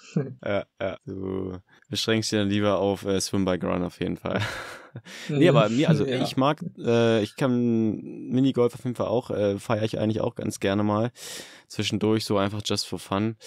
Ja, aber auf jeden Fall interessant, äh, dass äh, da auch die kleinen Wettkämpfe ausgetragen werden, halt zwischen den mhm. Trainingseinheiten. Klar, klar. ähm, Mika, ich würde sagen, wir machen hier einen Punkt. Ähm, ja, ich, ich, ich bedanke mich auf jeden Fall. Also es war echt ähm, cooles Gespräch, hat mir echt Spaß bereitet und ähm, ja, ich wiederhole mich da gerne. Also ich finde das echt klasse so, auch dass du das so ja, transparent einfach auch teilst, weil wie du schon sagst, ähm, dass das eben auch für andere oder ja, wie du schon sagst, du würdest es gerne auch selber wollen, von anderen vielleicht so da auch Anteilnahme zu nehmen und halt auch da Bescheid zu wissen. Und dass das auch so ein, ja, ich finde auch irgendwie einen Vorbildcharakter hat. Äh, und ich glaube, äh, ja, also ich drücke dir auf jeden Fall krass die Daumen und ich hoffe, alle anderen auch. Und ja, ähm, ja dir, dir gehören auf jeden Fall äh, die letzten Worte noch. Ja, also erstmal auch vielen Dank äh, fürs Gespräch, war echt cool. Und auch, ja, vielen Dank für die für die Genesungswünsche. Ähm, ist auf jeden Fall, freue ich mich echt über jeden, der sich da bei mir meldet. Ähm, Hat es auch, wie gesagt, echt nochmal noch mal einfach gemacht und mich auch daran bestätigt, dass das, dass das äh, gut war, das so offen ja. zu kommunizieren. Ähm, und ich hoffe, dass ihr da dann demnächst auch wieder von mir hören werdet. Also ja, äh, ich will da natürlich jetzt äh, die Leute auf jeden Fall auf dem Laufenden halten, wie es jetzt, wie es jetzt weitergeht. Ich hoffe mit positiveren mhm. Nachrichten, ähm, dass jetzt nicht allzu viele Rückschläge gibt, ähm, aber ich denke mal auch da wird es kleine Rückschläge mal geben und nicht nur ähm, äh, super straight nach oben nach oben gehen in der Genesung. Ähm, aber ja, also auch das werde ich da halt teilen und ähm, ja, hoffe, dass äh, hoffe, dass das äh, anderen Leuten vielleicht hilft, ähm, wie auch immer. Danke euch fürs Zuhören und dann bis bald irgendwann mal wieder. Ja. Macht's gut. ciao. Ciao, ciao. Also ich glaube, viel brauche ich hier zu Mika nicht mehr kommentieren. Ich denke, in den vergangenen knapp 90 Minuten hast du einen ziemlich guten Eindruck davon bekommen, wie Mika so tickt. Und wenn du äh, bis hierher zugehört hast, dann bist du auf jeden Fall auch so ein Heavy Consumer, wie Mika es ja auch zugegeben hat. Fand ich auf jeden Fall auch sehr sympathisch. Da zieht man sich halt schon mal den neuesten Vlog rein oder die Podcast-Folge, weil ja, weil es halt auch irgendwie ein Lifestyle ist und man das lebt. Vielleicht machen das ja auch andere, nur wollen es irgendwie nicht zugeben, weil das irgendwie, weiß ich nicht, uncool ist oder so. Da, dass man sich da so als Fan outet, äh, ist ja nichts dabei. Trotz dessen, dass man in dieser professionellen Pro-Rolle steckt oder wie auch immer. Sehr spannend fand ich hier auch, dass er die Szene verfolgt, wie gesagt, auch mit Social Media und sich daraus seinen kleinen Wettbewerbsvorteil gestrickt hat, dass er eben genau wusste, okay, wer hat wo mal Fehler gemacht und das genau einordnen konnte und dann eben ja, diese Fehler dann im Zweifel nicht mehr machen muss. Fand ich auch sehr amüsant, da äh, auf diese Art Social Media für sich zu nutzen. Und auch Mikas Ansicht zur Transparenz, also beispielsweise im Umgang mit Verletzungen und deren Bekanntgabe, fand ich eben auch sehr, sehr spannend, weil er da aus seiner Perspektive rauszoomt und sich überlegt, hey, wie würde ich mir das eigentlich wünschen, wenn sich ein Athlet oder eine Athletin X verletzt und das nun ja irgendwie kommunizieren muss, wie würde ich das gerne erfahren? Und eine kleine Zeitnote auch dazu, das ist wahrscheinlich jetzt nicht ganz so relevant, aber eher unbewusst auch spielt hier auch noch das mit rein, dass es eigentlich auch eins der wichtigsten Skills ist im Marketing-Journalismus-Bereich, dass man eben hier genau schaut, okay, wie könnte das bei meiner Zielgruppe, meiner Followerschaft ankommen? Also was kommuniziere ich und wie wird das empfangen? Ist ja auch ein sehr bekanntes äh, Kommunikationsmodell und da sich darüber Gedanken zu machen, ist vielleicht auch gar nicht so unwichtig. Wir hatten das Gespräch letzte Woche aufgezeichnet und wie Mika schon meinte, du kannst dich gern bei ihm melden, wenn du eine Frage hast. Und wenn du Mika noch nicht folgst, dann findest du den Link natürlich in den Show Notes oder such einfach mal Mika wie sein Name N-O-O und zweimal die Null. Jo, das war's für heute. In zwei Wochen haben wir hier wieder eine Athletin zu Gast. Wer das sein wird, kann oder darf oder will, ich dir heute noch nicht verraten. Die Spannung muss ja auch noch ein bisschen gewahrt bleiben. Also check einfach Instagram aus für alle Teaser der kommenden War das los Podcast Talks und dann hören wir uns. Also bis dahin eine gute Zeit und bis in zwei Wochen. Ciao, ciao.